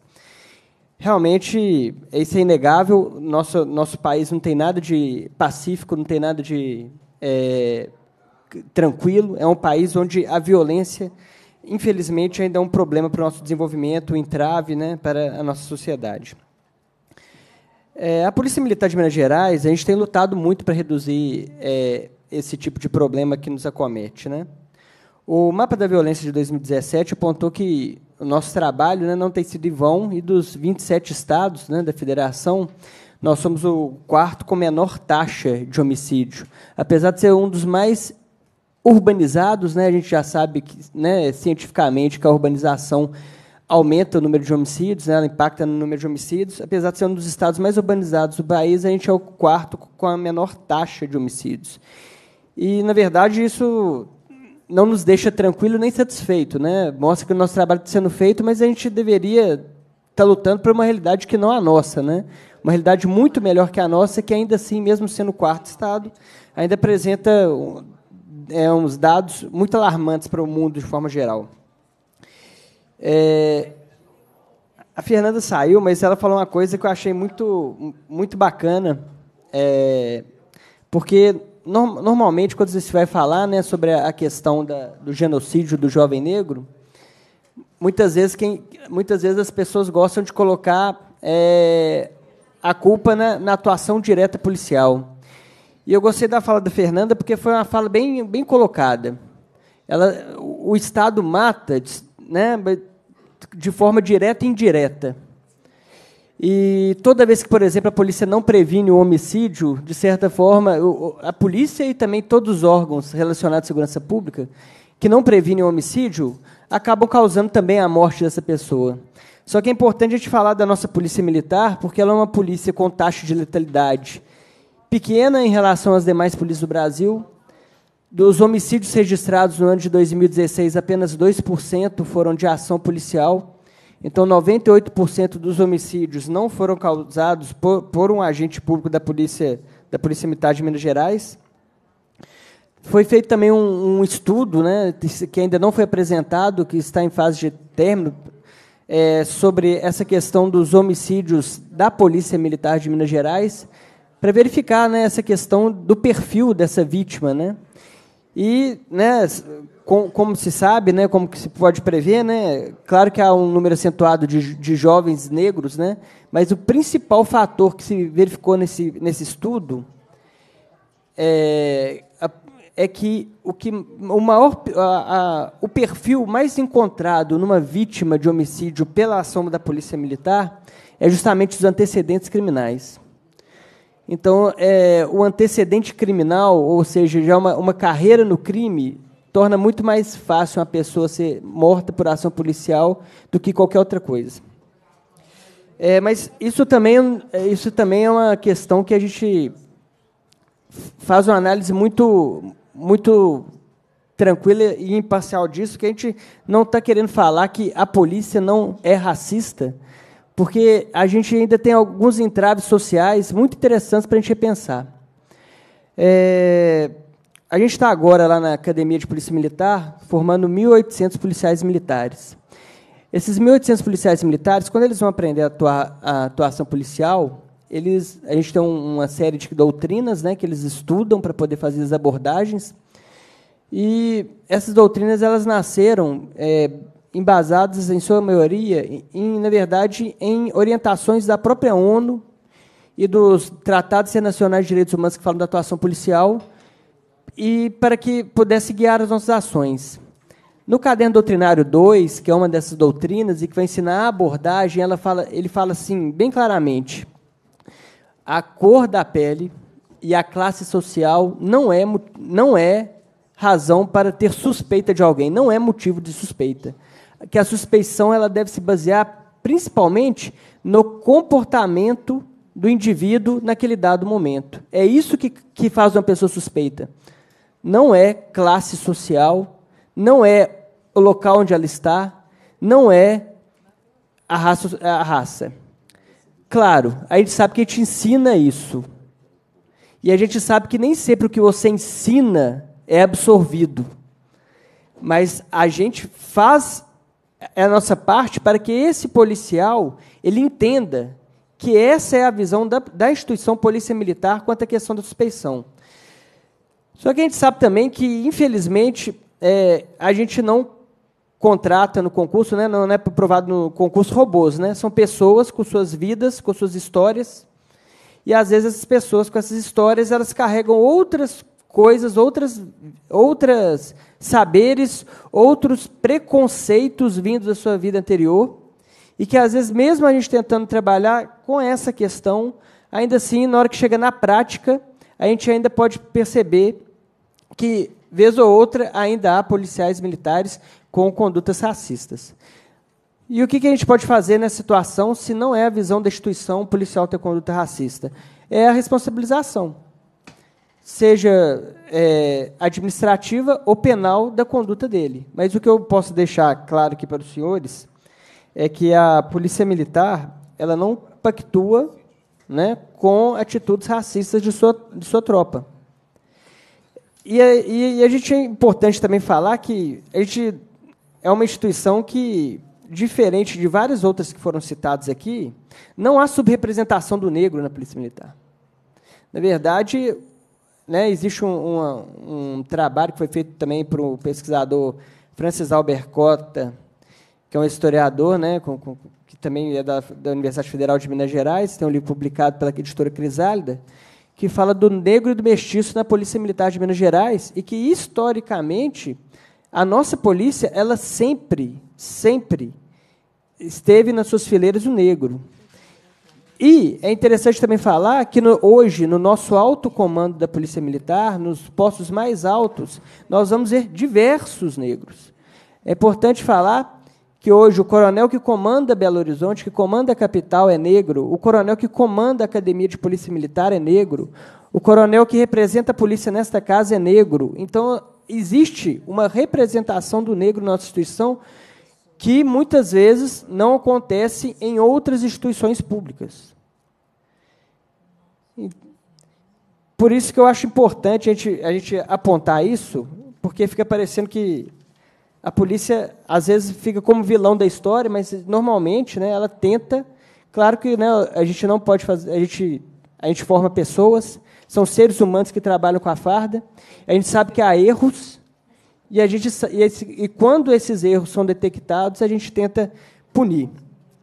É uma instituição pública que não tem problema em, em punir e excluir aquelas pessoas de uma conduta. Em 10 anos, a gente excluiu mil policiais militares. Em 10 anos. Qual instituição pública demite mil pessoas em 10 anos? Então, o que eu queria deixar para a sociedade, né, de forma geral, e para todos aqui presentes, é que a nossa polícia sabe dos seus erros, mas também acredita nos seus acertos e espera né, reduzir né, os homicídios no estado de Minas Gerais, não para se tornar é, é, mais do que a, o, o, quarto estado que, que menos pessoas morrem, né, mas, na verdade, para que possa realmente trazer tranquilidade né, para a juventude negra e também para todas as demais pessoas, né, é, para que a gente possa viver numa, numa paz social. Obrigado. Ricardo Forro. Ok. A presidência agradece as palavras, a participação do capitão Ricardo Forro, da Polícia Militar de Minas Gerais. E já em seguida, passando a palavra para o nosso companheiro aqui, nosso amigo Flávio Renegado. Pra justiça, chama Xangô. Pra batalha, Ogum é o mais forte. Ontem fui caça, hoje caçador. Quem me guia nessas trilhas é Oxóssi. Sua pele preta vigiada, sentinelas tão montadas, pensam que vão me deter. Não sabem de nada, eu já venci a fome, a farda, a cara feia dos caretas não me faz tremer. Eu sobrevivo no Brasil, puta país hostil, onde é crime preto e pobre ter poder. Meu passado é meu presente, já arrastei corrente, mas hoje eu tô no game para vencer. E cuô, grito forte na senzala. Negro canta, negro dança. Não existe mais chibata. Querem que a humildade seja virtude de todo negão. A pauta desse jogo, migalhas pro meu povo, presídio e prisão. Sou preto rebelado que não aceitou ser chamado de ladrão. Hoje Black Star, sonho de consumo da filha dos patrão. Pra justiça, chama Xangô. Pra batalha, Ogum é o mais forte. Ontem fui caça, hoje caçador. Quem me guia nessas trilhas é Oxóssi. Enquanto nos empurram cachaça, cocaine, devolvemos para eles Basquiat, Coltrane. Querem nos tirar tudo, inclusive our names Mas pergunta para esses putos qual my nickname. Sou ira, cores e dores, sabores e odores. Minha rima é guerra e inimigos não mandam flores. Sou power como James, mas o niga a sorrir. Flávio Renegado, dinastia de zumbi.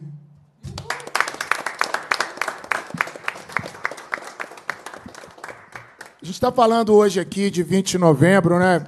Acho que a gente tem essa, quanto sociedade, essa esse atraso na reflexão de entender que 20 de novembro não é o dia da consciência negra.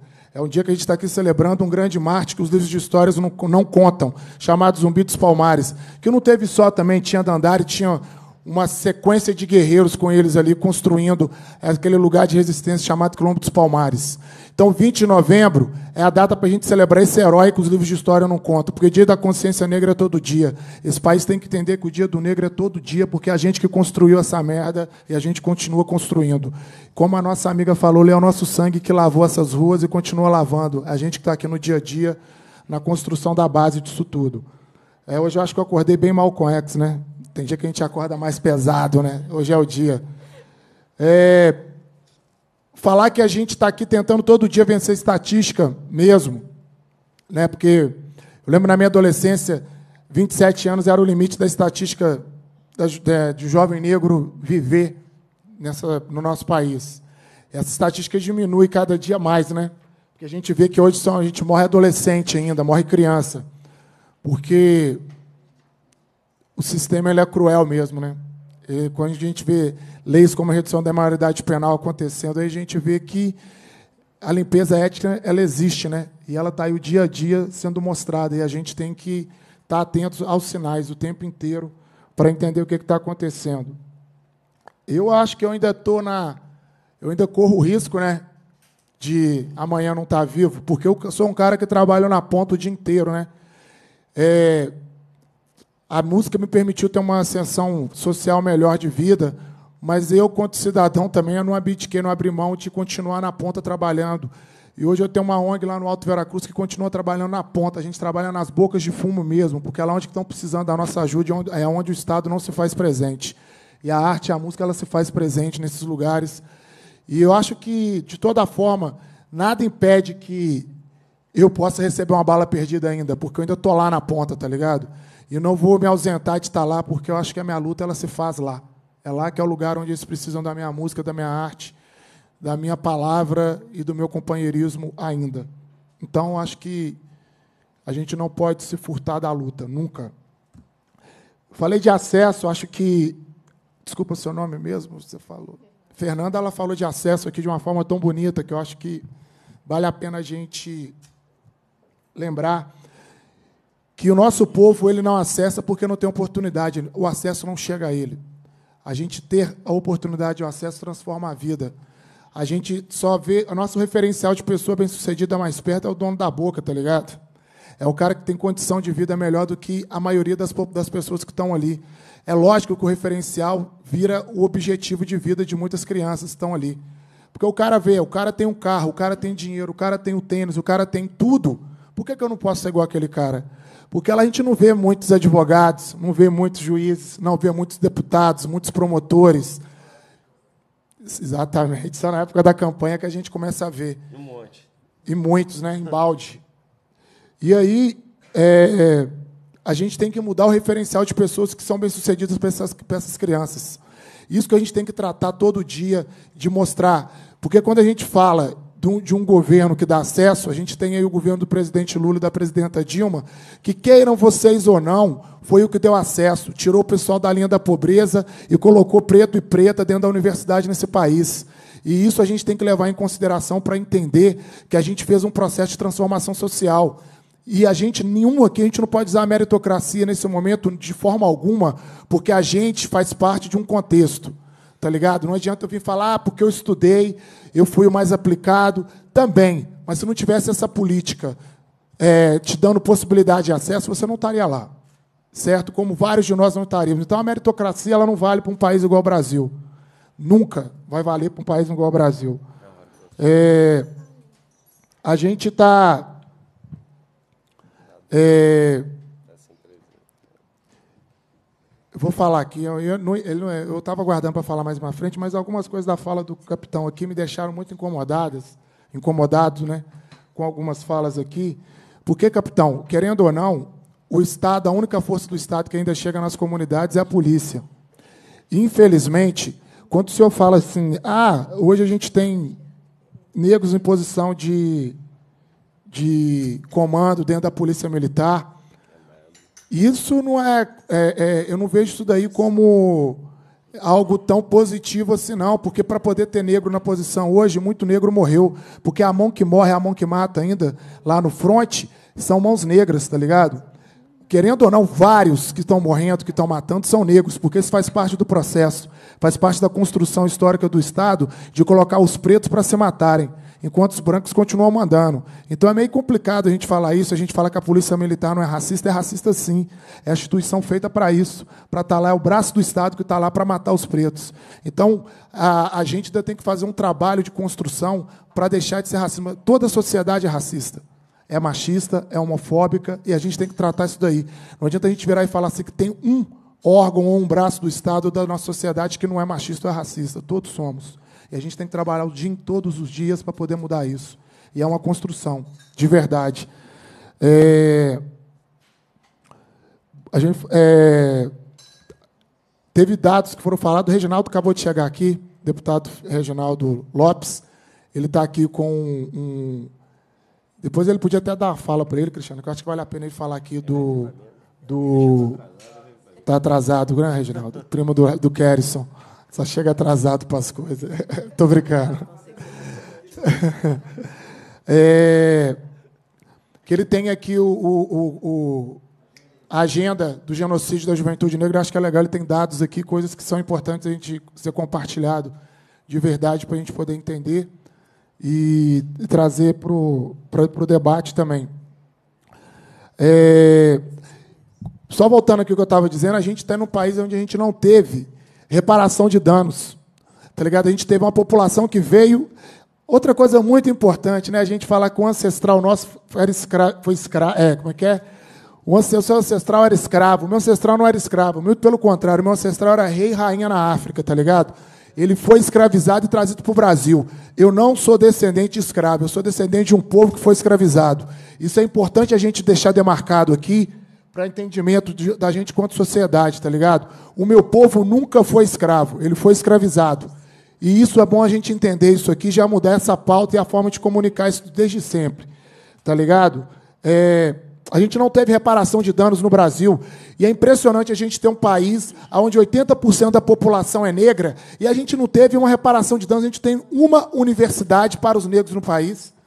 Enquanto nos Estados Unidos, onde são 40%, tem universidade, tem escola, tem cota. A gente está discutindo cota até hoje. A gente está discutindo a cota, que é uma medida merda, mas é a única medida que se tem. E a gente está discutindo se vale ou não ter cota. Enquanto o nosso povo não acessa a universidade, a gente está aqui discutindo se ainda temos que ter cota. Pelo amor de Deus, tá ligado? Isso é uma discussão para mim que não tem nem que valer enquanto a gente não tem universidade, não tem espaço. Hoje a gente vê ah, os filmes norte-americanos, tem cota nos filmes, então a gente hoje tem Morgan Freeman, tem vários, Denzel Washington, vários caras que são muito legais e muito foda, porque a cota existiu. Enquanto no Brasil a gente está discutindo se ainda vai ter cota para negro na televisão ou não, se a gente tem que ter cota para negro no plenário ou não. Cara, pelo amor de Deus, tá ligado? Você já passou. Eu quero entender qual que vai ser a próxima medida reparativa que a gente vai ter para a população negra, que ainda não existe. E a gente está discutindo se deve ou não ter cota. Então tá errado. A gente está discutindo hoje aqui, o companheiro levantou, que eles estão aqui fazendo a discussão dos bailes funks nas comunidades. O baile funk ele é legítimo, como o rap é legítimo, como o samba é legítimo. E ele tem que ser aceito independente da sua vontade ou não. Tá ligado? A gente só é regulamentado, a gente só começa a ser regulamentado quando a gente começa a aglutinar corpos negros para comemorar. O meu corpo é uma forma de expressão também. Se o meu corpo quer rebolar, deixa o meu corpo rebolar, você não tem nada a ver com isso. Porque ninguém vai lá pagar a conta do nosso povo. Quando está lá no nosso momento de lazer, quer discutir, porque está discutindo a questão das drogas e da violência nas comunidades. Mas peraí, que medida que a, que a- a sociedade faz para poder ir lá regulamentar na ponta com as mulheres negras? Para discutir se as mulheres estão engravidando antes da hora? Para discutir se os moleques estão acessando o crime antes da hora? Mas está fazendo o que lá na ponta para reparar? Está indo só para reprimir? Pera aí, dá licença. Repressão não muda nada, tá ligado? Muito pelo contrário, potencializa. Já que não pode, é aí que eu vou fazer mesmo. Sabe, porque a gente vive em constante movimento de protesto. A gente vive para protestar. Se o Estado está dizendo que é assim e o Estado não me dá nada, só me oferece repressão, então vamos confrontar o Estado. E a gente está aqui para confrontar. Eu nasci para confrontar, tá ligado? Só de eu estar num espaço onde eu sou minoria e aonde eu tô, é, eu a minha voz só faz jus quando eu estou em processo de, de enfrentamento, vamos enfrentar então, tá ligado? Vamos enfrentar. O Mr. Catra, um dia eu estava fazendo um programa de TV, onde era eu e ele o entrevistado. E o, o apresentador questionou o Mr. Catra, falou assim, Catra, você hoje canta funk e putaria, mas quando eu te conheci, você cantava rap consciente. Por que essa mudança? O Mr. Catra virou e falou assim, eu cantava rap consciente e ninguém me ouvia. Então eu resolvi fazer o funk putaria porque virou minha forma de protesto. E hoje toda a sociedade me ouve. Do mais pobre ao mais rico, todos me ouvem. E eu fiquei pensando muito nisso, tá ligado? Que é isso, a gente, quando a gente está falando de consciência, de empoderamento, as pessoas não querem nos ouvir. Quando a gente fala de crime, de droga, de sexo, todo mundo quer, quer ouvir. Seja para reprimir ou para dançar. A gente está lá presente. E eu acho que isso é a nossa peste negra, tá ligado? A nossa doença dos ratos. Eles, é, é, se não querem nos ouvir por bem, vamos ouvir por mal. E a gente está aqui para poder ocupar espaço e transformar. Esse final de semana, sábado passado, eu tive a oportunidade de ocupar a sala Minas Gerais, que é a sala mais elitizada da nossa sociedade hoje, aonde só as orquestras se apresentam. E a gente ocupou com o povo negro aquele lugar. E com o corpo negro cantando música de preto lá, tá ligado? Então isso, para mim, é transformar de alguma forma. Fico triste porque o meu povo preto podia ter ido em peso para lá mas a gente não conseguiu dessa vez. Mas a, o meu objetivo agora é pegar aquele concerto que foi construído para estar ocupando aquele lugar e levar para as periferias da cidade. E a gente reconstruir e ressignificar o acesso à música. Porque vem falar que música clássica não está ocupando aquela sala os pretos porque não, não gostam de música clássica, não. Porque não tiveram acesso. E a gente vai levar acesso ao povo. Se o povo não pode estar na sala, a gente vai invadir as favelas com acesso para poder levar música clássica para eles. E é isso que a gente precisa travar. Todos os dias travar a ocupação para transformar. É, eu estava aqui conversando com o Cristiano, obrigado pelo convite, mais uma vez aqui de poder estar ocupando essa casa também com as minhas ideias malucas.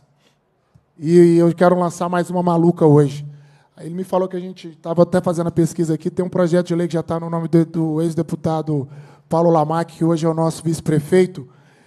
E eu estou lançando aqui hoje, a gente recolher 10 mil assinaturas negras para a gente exigir 20 de novembro feriado estadual nessa cidade. E a gente vai continuar fazendo essa luta. Estou lançando hoje. Amanhã nós vamos ter um ato contra a censura na porta do Palácio da Liberdade. Reginaldo vai estar lançando a agenda lá também.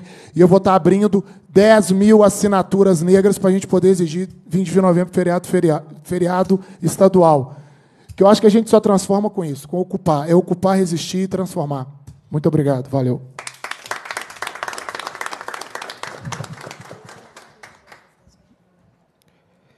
Obrigado, Flávio Renegado, pelas palavras.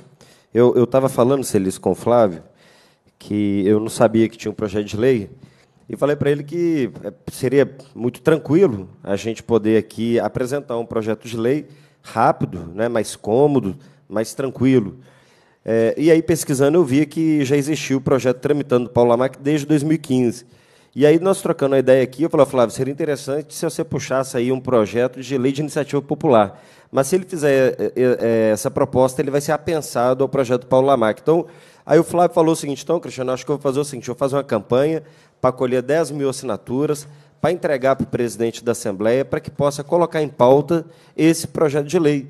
E eu acho que é legal, eu tenho certeza que o presidente, Flávio, colocaria tranquilamente, mas se você fizer um movimento, as pessoas assinarem, eu acho que dá mais legitimidade ao projeto quando ele vier a ser votado na casa, porque ele passa a ter, em tese, uma coautoria de boa parte do povo mineiro, né? E tenho certeza que boa parte de quem vai assinar isso aí é a comunidade negra e vai ser, o, eu, no meu entendimento, é um caminho. A gente pode ter um caminho curto, mais fácil, mas acho que esse caminho da robustez, da legitimidade, politiza a data. Eu acho que a sua ideia é uma ideia fantástica e pode contar com a gente aí nessa divulgação. Obrigado, parabéns.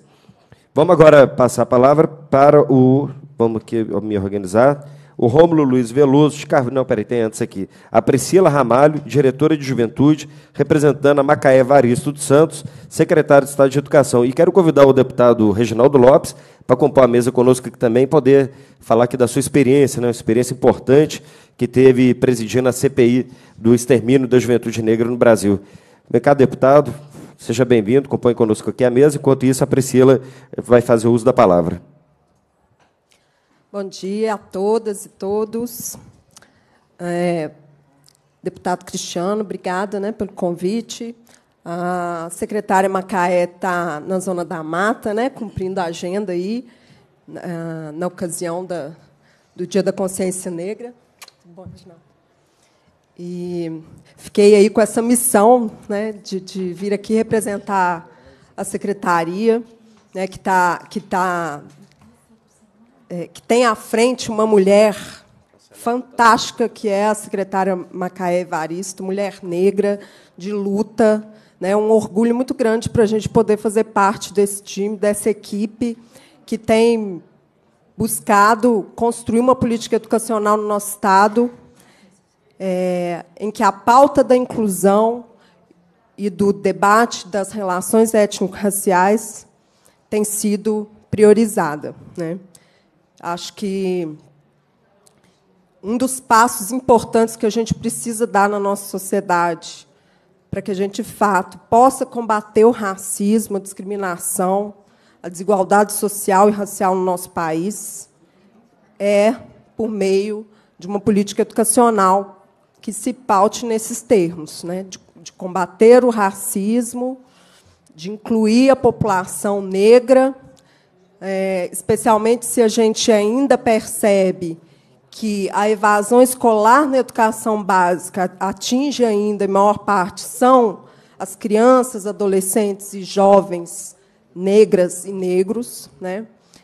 Então, sem dúvida, é, a nossa pauta da educação é uma estratégia fundamental para a gente superar esse quadro lamentável de genocídio da juventude negra no nosso país. É, eu acho que vários que me antecederam aqui né, já reforçaram é, dados, estatísticas, é, informações que a gente tem aí desenhando esse cenário triste em que, ano a ano, a gente tem um avanço do genocídio da juventude negra no Brasil. E, como já disseram também, né, é importantíssimo a gente ter clareza de que esse quadro é resultado de, uma, de um processo de violação de muitos direitos. Né? Então, se a gente está falando de genocídio, se a gente está falando é, que os jovens estão morrendo, os jovens negros e negras estão morrendo no nosso país, a gente não pode esquecer que esse é o resultado de um, de um círculo de violência, né, de, não, de, de negação de direitos dessa, dessa parcela da população do nosso país. É, por isso que é importante, por outro lado, também, a gente, não somente hoje, como disse bem o renegado, mas todos os dias, a gente trazer essa discussão em todos os lugares. Acho que a escola é um espaço em que a gente precisa construir o debate sobre o racismo, sobre as relações étnico-raciais, porque, como é, uma instituição do Estado, que faz parte do Estado, a escola também segue reproduzindo o racismo. E a gente precisa combater isso assumindo uma política educacional que se paute na inclusão, que se paute também na visibilidade desses sujeitos dentro da escola e fora dela. Para a gente trazer, combater a evasão escolar, que atinge, na sua maioria, crianças, adolescentes e jovens negros e negras, a gente precisa construir também uma escola que seja condizente com as reais demandas dessa parcela da população, que é a, a, a maioria da população. Então, por enquanto, é, infelizmente, a gente ainda tem instituições que foram e seguem reproduzindo é, uma lógica branca de ser. Né? E eu peço aqui licença, viu, gente, para falar. É, então, uma coisa que, que Macaé fala muito, né, da importância da gente valorizar a cultura do povo negro, valorizar a construção do conhecimento a partir do povo negro. Porque o conhecimento que a gente constrói é branco, que a gente vem construindo. Então, passa por isso também. A gente precisa valorizar o conhecimento popular, os saberes populares deixar de repetir essa lógica de apagar a cultura negra quando o menino vai para a escola. Ao contrário, a gente precisa visibilizar essa construção dentro de todos os espaços e, fundamentalmente, dentro da escola, para que a escola possa realmente, efetivamente, valorizar a cultura negra e passar a incluir esses sujeitos na construção do conhecimento e que esse conhecimento possa ser de fato compartilhado por todas e todos.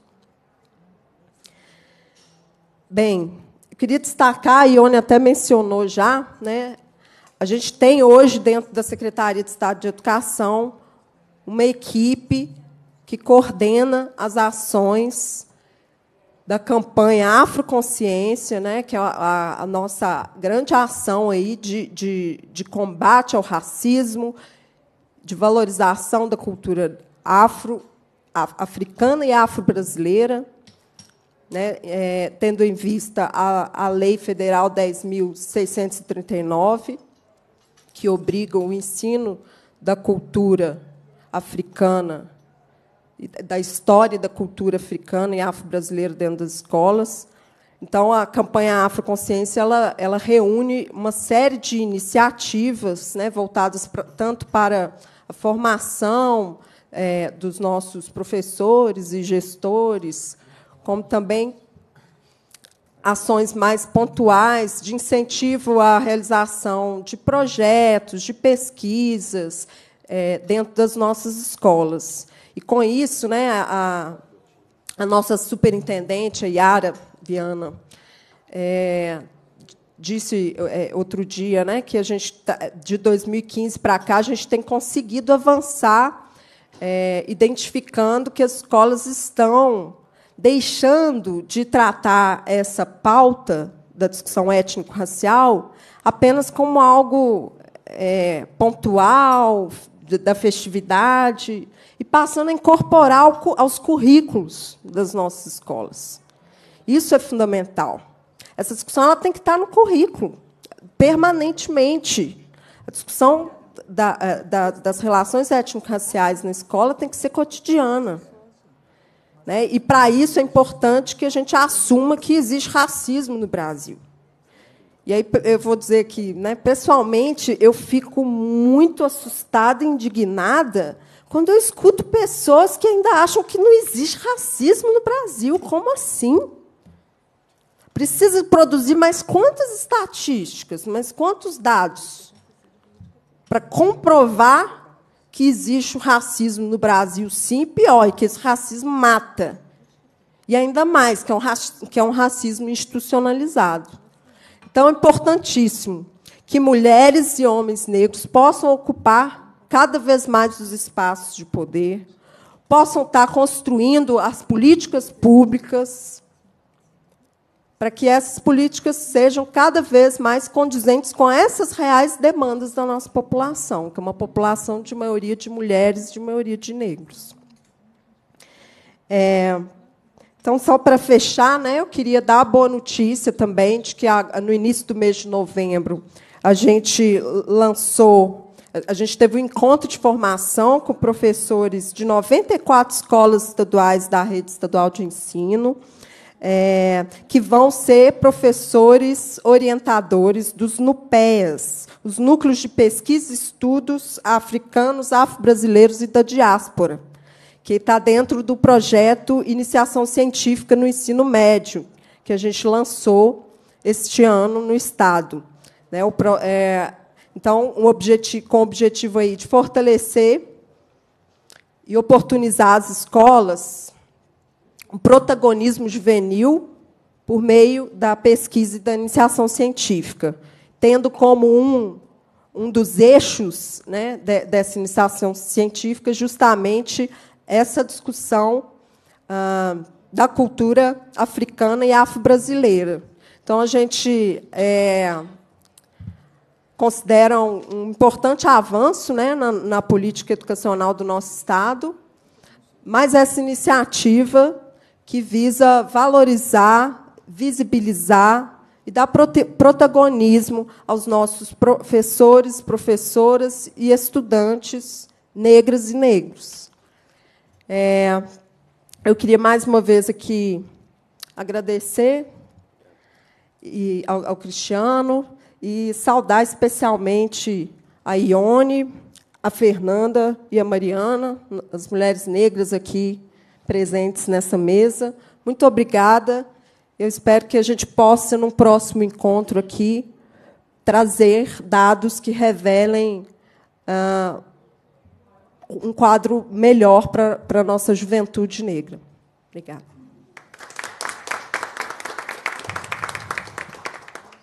Obrigado, Priscila, pelas palavras, pela contribuição. A gente vê que nem tudo é de ser ruim, né? Secretaria de Educação tem, então, feito esse esforço para que eh, esse debate esteja na, na pauta e, quem sabe, numa perspectiva de uma outra formação né, da nossa sociedade. Obrigado e levo os nossos cumprimentos para a nossa amiga, companheira, secretária Macaé. Bom, dando continuidade, agora sim eu vou passar a palavra para o Lucas da Silva Reis, que é membro do Instituto Tucum.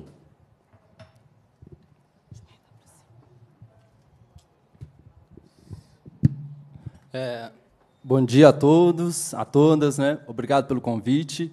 É, seguinte, eu estava ouvindo as falas né, de todos, né? E como que a, a escola, né, a Priscila acabou de representar a Macaé, né? Como que a escola é um espaço ainda, né, de, de muita violência. A trajetória de, de, de, de escolarização né, das pessoas negras, infelizmente, ela ainda é muito marcada pela exclusão, pela marginalização é, e pela, pelo não incentivo. Eu lembro-me, é, lembro muito bem da, da, das, de vários momentos em que as professoras elas não é, me incentivavam e, ao contrário disso, elas incentivavam os alunos é, na sua maioria brancos. Né? Como que isso é perverso e como que isso traz consequências para a vida de todos os estudantes é, negros que estão nesse processo de escolarização. É, seguinte, a gente está falando de, de, de, genocídio da, do povo negro, né, especialmente da juventude. É, isso parece assim, que está na moda, entre aspas, isso ficou mais visível de um tempo para cá. Entretanto, eu, como historiador, tenho que lembrar que, que o processo de genocídio do povo negro ele já é uma política de Estado desde o início dos anos 30. Né? É, as teorias de eugenia, né, de branqueamento, diziam, por exemplo, que no início agora de, desse milênio, a população negra não, ela não estaria mais presente no Brasil. Assim sendo, uma grande parte dos nossos problemas eles estariam é, é, acabados né, com, com o nosso fim. Então, o genocídio ele tem esse objetivo muito claro, de exterminar física e simbolicamente um determinado grupo étnico-racial. E é, foi falado aqui de, de inúmeros dados que apontam para isso. Mas mais importante do que isso, né, de dizer novamente desses números, acho que a gente tem que colocar algumas coisas, algumas proposições que busquem de fato enfrentar esse extermínio.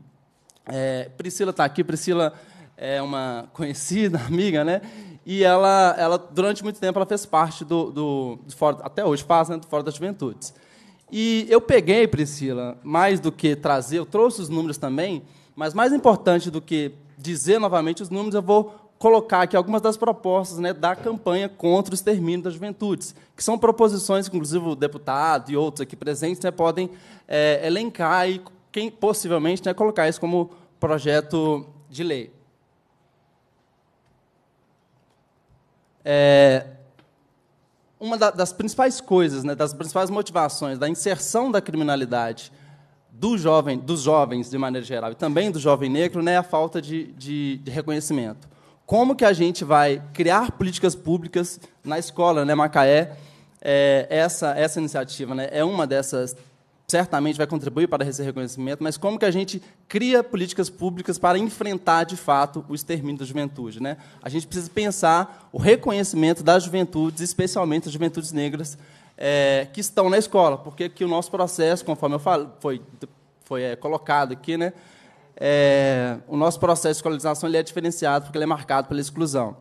Então, uma das propostas, a gente tem que começar a pensar propostas que visem é, empoderar as crianças, né, os jovens negras. É, essa, essa audiência né, uma, cumpre uma das propostas que foi pensada lá na, lá na campanha contra o extermínio de jovens, que é dar visibilidade para essa situação. De 2005 né, até 2015, 318 mil jovens foram assassinados. 318 mil jovens. Conforme o, o capitão aqui pontuou, é, países que estão em guerra civil morrem menos pessoas. Então a gente tem que dar visibilidade para essa, para essa situação. Eu acho que essa audiência cumpre é, o seu objet esse objetivo.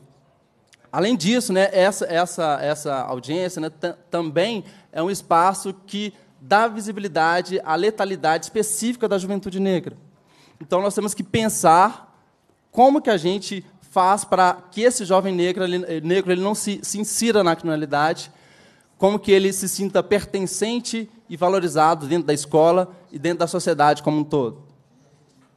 É, aqui no Estado a gente está com, com, um problema né, que é com relação ao, ao Fica Vivo. O Fica Vivo tem seus inúmeros defeitos, mas foi um programa que, é, em alguma medida, contribuiu para o, a diminuição do, do número né, de jovens assassinatos. Né? Então, a gente tem que começar a implementar e fortalecer os programas e as políticas públicas especificamente para as juventudes. A gente está na, na, na, casa do povo, entre aspas, né?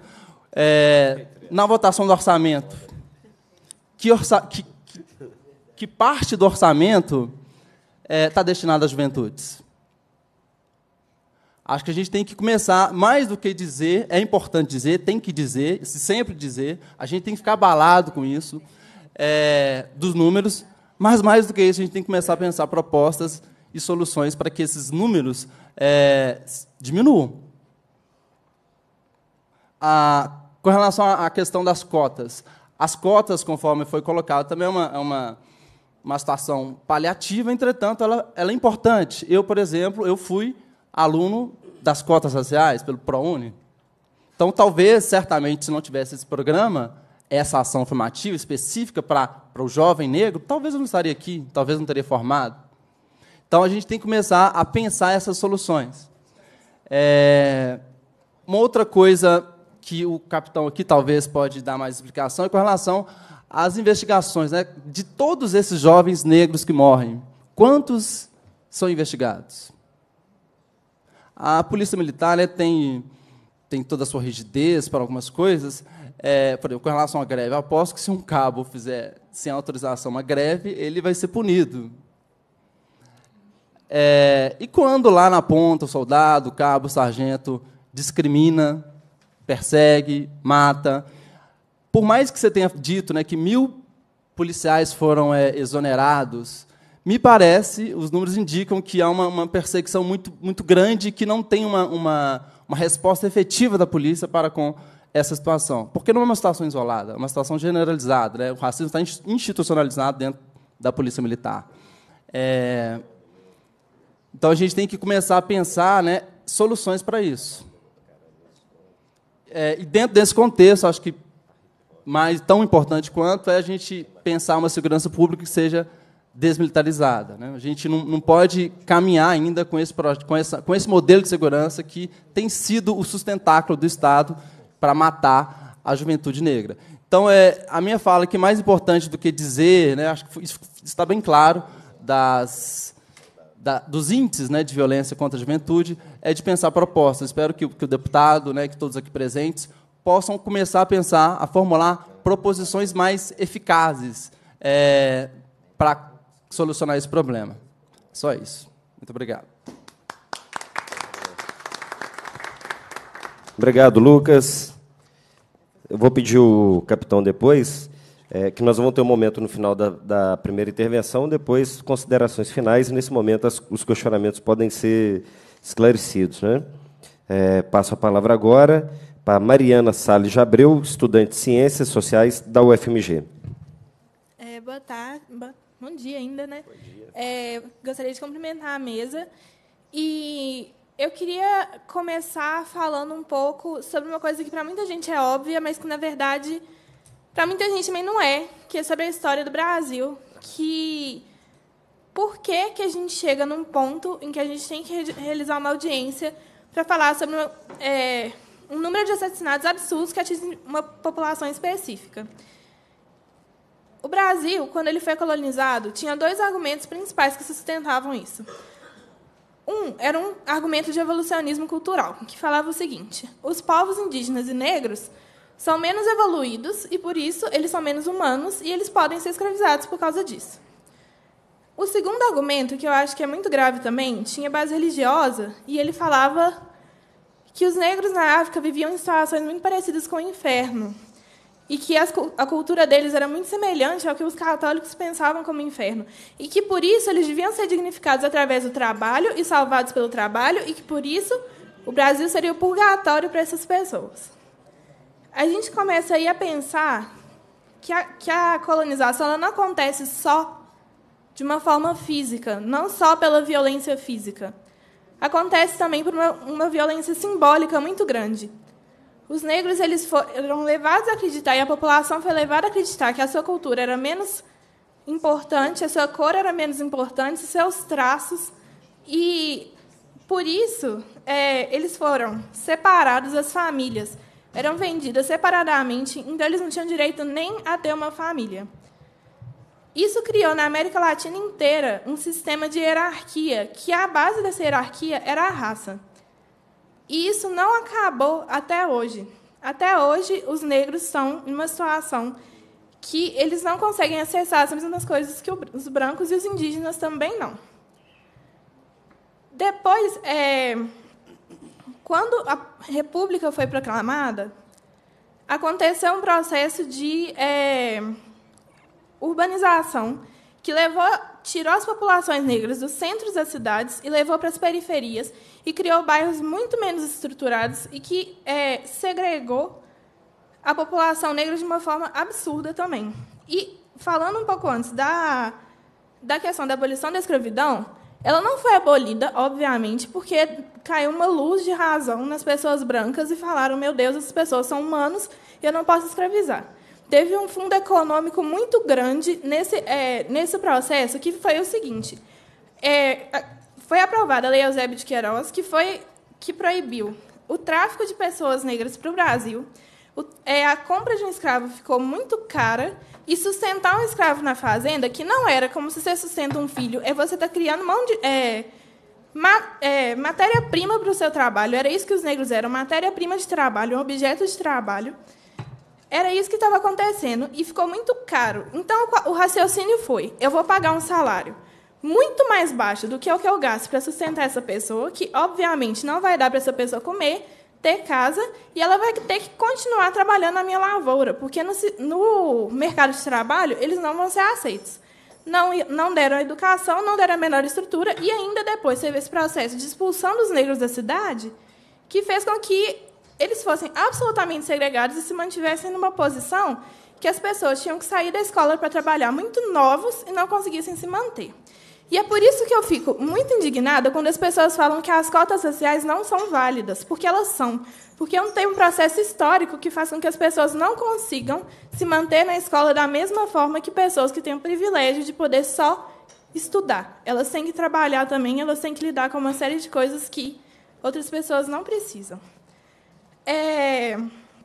Uma outra coisa que eu queria falar é o seguinte: tem estudos que sustentam muito fortemente que a criminalidade ela é muito mais forte em sociedades desiguais. E não é só em desigualdade econômica. Desigualdade racial também é um fator nisso, segregação urbana também é um fator nisso. Isso quer dizer que diminuir a criminalidade no lugar não tem a ver com aumentar a violência no lugar, não é aumentar a segregação, nem aumentar a desigualdade. Tem muito mais a ver com a, é, dar condições para esse grupo que está segregado de poder se afirmar através da cultura, através do esporte, de ter perspectiva. Porque o que acontece é que eles estão num lugar que, ele, que, que é, a gente pensa que várias coisas não são para a gente. Só que, na verdade, elas são, elas têm que ser, e isso tem que ser falado para essas pessoas. O que não pode ser falado é que você nunca vai chegar nesse lugar e ponto. Eu fico pensando que, quando eu estudei História da África no ensino médio, foram umas três aulas que falaram da África como se fosse um país e que não falou de várias especificidades que fazem daquele lugar um lugar muito rico e muito importante, e não falou de histórias muito importantes do tipo eu duvido que alguém saiba, muita pouca gente saiba, que antes da Segunda Guerra Mundial, os campos de concentração foram criados na Namíbia pelos alemães. E a gente não sabe disso, a gente não sabe da importância que a África teve é, na criação dessas desigualdades que são mundiais. Recentemente, entrou muita, muitos negros na universidade por causa das cotas. Isso evidencia racismo dentro da universidade, mas também cria uma nova perspectiva que é que a gente precisa ser ouvido. A gente quer falar o que, a gente precisa para acabar com essa desigualdade.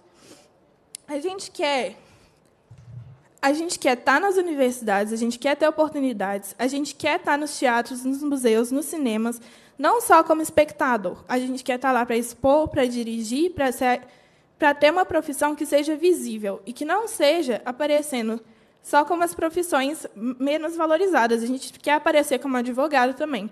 A gente não quer que, gente, que tenha um negro lá no Congresso ou na presidência e que isso seja dado de exemplos para falar: olha só, vocês já conseguiram. A gente ainda não conseguiu, a gente está na metade do caminho ainda, se tiver na metade.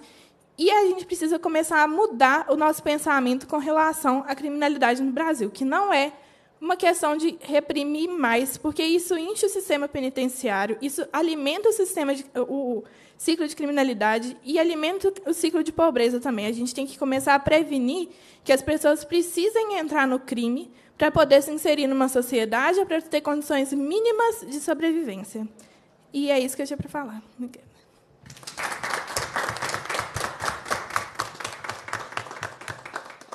Ok, obrigado, Mariana pela contribuição, pelas palavras.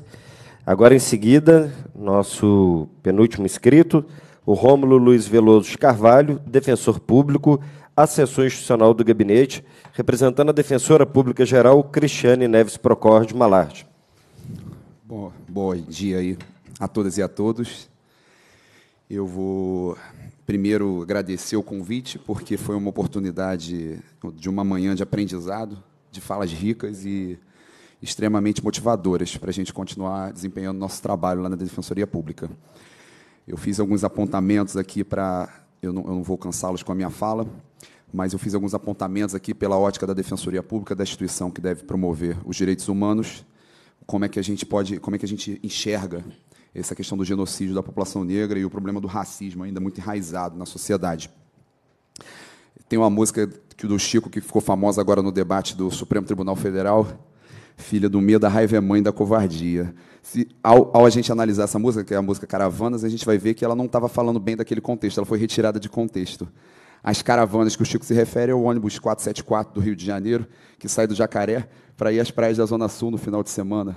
E aí ele, ele mostra como a classe média, a classe rica lá das praias, tem seu, seu bairro, entre aspas, invadido pelo povo da periferia, e como o Estado ele opera de forma preconceituosa ao instaurar blitz para fazer revista naqueles ônibus antes que ele possa chegar na orla. É, e essa é a caravana. Então a fala ela foi um pouco retirada de contexto, e é bom a gente retomar, eu estou até para escrever uma coisa sobre isso, retomar o que, que era exatamente aquela fala. Ela foi usada até para um discurso de punitivismo, e, e, é completamente dissociado do que realmente estava ali presente, pelo menos a percepção que eu tive lendo aquele trecho, que fica muito claro para mim. Outra música, é, o Rapa, em 1994, ele diz que todo camburão ele carrega um pouco, um pouco de navio negreiro. E a gente, essa lição foi dada na década de 90. E a gente vê que as, as viaturas das, das secretarias de administração prisionais ainda carregam um pouco de navio negreiro. A gente não conseguiu ainda modificar de forma adequada a realidade social em que a gente está mergulhado. Eu falo do ponto de vista de um defensor criminal, de um defensor público titular da execução penal, agora cedido para a administração superior, mas eu sou defensor criminal na, na base, na origem do meu trabalho do dia a dia. E eu trabalhava no Ceresp de Betim, ali com 1.500 presos, quando deveriam ter uns 400. E, e, e, a paleta de cores ali é muito bem definida. A quem o Estado, onde é que a intervenção penal e criminal, como é que ela é gerida e como é que ela é realizada. Para mim ali foi uma experiência que, mais do que sair dos livros, sair da faculdade de Direito, quando a gente escuta falar na matéria de criminologia que o direito penal ele é seletivo, ali eu pude ver, atrás das grades, que o direito penal ele é seletivo. E já foi falado por aqui, a gente vive numa sociedade que se proclama igualitária, feliz e harmônica, quando ela é preconceituosa, extremamente conflituosa e com, e com problemas e feridas muito abertas ainda. A gente viveu séculos de escravidão e tem um, e tem um, um processo ainda em curso de integração e de, e de naturalização da convivência desse povo, que ainda é estigmatizado pela forma de operar do Estado. Aí eu coloquei aqui que, apesar do, da fala do, do nosso colega Polícia Militar, aqui citando dados que nos trazem algum alento em relação à melhora, a gente teve, não tem muito tempo, em 2013 ficou famosa uma ordem de serviço da Polícia de Campinas, que mandava, estar na internet, para quem quiser consultar no Google, que os policiais abordassem jovens de 18 a 25 anos, negros, em bairros abastados de Campinas. Recentemente teve um caso em Maringá, que a polícia também circulou com o timbre da Polícia Militar, um, uma ordem para que fossem abordados jovens com atitudes suspeitas. E aí vinha lá o que, que são essas atitudes suspeitas. Vinha escrito, jovens negros, de idade de 18 a 25 anos, é o povo que é massacrado e que sofre esse genocídio que hoje a gente está aqui proficuamente debatendo. Sobre a, a, a, colega Priscila colocou a questão do conhecimento negro aqui, do, do, da cultura, e a gente vai ver também nas escolas, a gente estuda a Revolução Francesa, o processo de unificação alemã, a gente estuda a Revolução Americana, e a gente não vai estudar a cultura africana, a gente não entende como é que se formou o Estado africano, quem aqui que teve uma aula de história densa, uma aula de história aprofundada sobre o que aconteceu na África? No século XX? No século XIX? Ninguém sabe. Ninguém sabe. E a gente não vai mudar essa cultura fazendo leis de criminalização. O racismo ele é criminalizado, a injúria racial é criminalizada. Mas vamos refletir se com lei, com canetada de Brasília, a gente vai mudar a realidade social que essas pessoas sentem na pele. E eu, eu, eu lá entrevistando no presídio, eu digo que não. Eu digo que isso não mudou, e não que não seja importante, só que o racismo hoje ele é sutil. Ele é, é, mais, é mais difícil você ver um racismo declarado, alguém que vai ofender e praticar uma injúria racial de forma deliberada, como a gente viu um famoso comunicador agora, sem constrangimento, por trás das câmeras, fazendo. Mas a gente tem aquele racismo velado, aquele racismo disfarçado, que a criminalização não vai alcançar, que é muito difícil se caracterizar, vai ficar naquele limite é uma brincadeira, é uma liberdade de expressão, quando a gente sabe que não é, quando a gente sabe que aquela cultura que está ali sendo repercutida mata, exclui, discrimina. Aí o Nilmar trouxe também o secretário um dado animador que seriam teriam 20, esses 20% de preconceituosos sempre teriam existido. O Nilmar colocou que são pessoas que defendem a ditadura militar, pessoas que são racistas, seriam os 20% que a sociedade majoritariamente não é assim. Eu, eu, eu fico feliz com essa percepção, mas eu, eu acho que se são só 20%, a notícia ruim é que eles hoje estão organizados. As redes sociais, o Humberto Eco coloca isso, ela organiza essa, entre aspas, idiotização da sociedade e ela vai dar voz. Hoje em dia, um prêmio Nobel tem a mesma canal de se comunicar que qualquer pessoa ali por trás daquele anonimato que ele julga ter do, do, perfil dele da rede social, ele vai se sentir livre e tranquilo para proferir ofensas contra Thais Araújo, contra o Lázaro Ramos, toda vez que eles se colocam de uma forma crítica à política de Estado, à política racista, que a gente vê aí sendo reproduzida de forma constante. Então a gente tem, se por um lado seriam minorias, essa minoria está se perigosamente organizando.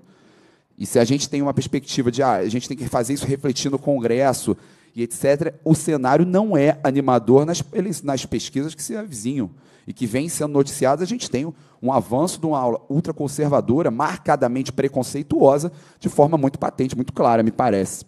E a gente não pode ignorar esse fenômeno, esse debate, e é mesmo resistir a ocupar espaços. O Boaventura de Souza Santos, ele, ele colocou isso recente, ele, ele colocou que a gente para, tem que parar de apoiar as lutas, e a gente tem que estar nas lutas. A gente tem que parar de fazer, achar que está fazendo política pública e política social, dando curtida no Facebook e compartilhando textão. Até porque pelo algoritmo da rede social, aquele textão só vai alcançar gente que já nos curte. Gente que já pensa como a gente. Então a gente vai ficar fazendo discurso para convertido em rede social. Sem aprofundar o debate social, sem aprofundar o debate que tem que ser feito dentro da sociedade. E os partidos políticos perdem, às vezes, e a Defensoria Pública perde também essa oportunidade, eu faço essa crítica interna, que a gente tem que estar dentro da- das comunidades, a gente tem que estar dentro, da, tem que estar próximo da população, fora dos gabinetes, fazendo essa ponte. Porque não- a, a- a rede social ela tem uma, ela reverbera, mas ela vem reverbera- reverberando de forma, pelo menos até agora, muito, perigo, muito mais perniciosa, perigosa em relação à difusão desses conhecimentos. E essa perda da vergonha de praticar e falar racismo de Estado, de naturalizar essas práticas que a gente tinha anteriormente. Esse discurso estava dentro do armário, estava velado. Isso sai, isso é colocado nas redes sociais. Então é um momento de muita reflexão muito perigoso que a gente está ainda aprendendo como lidar. É um novo obstáculo, um novo desafio para quem está aí na luta, como vocês estão, de forma mais na- ali no front desse combate, para enfrentar, para fazer um, para fazer um contraponto democrático, um contraponto que é necessário para evitar essa naturalização desse ódio de Estado. Em relação ao curso superior, a gente tem a política de cotas, mas ainda assim, quando a gente vai olhar para a formatura do curso de medicina, a gente vai ver aquele mar. Parece que a gente está vivendo um país nórdico.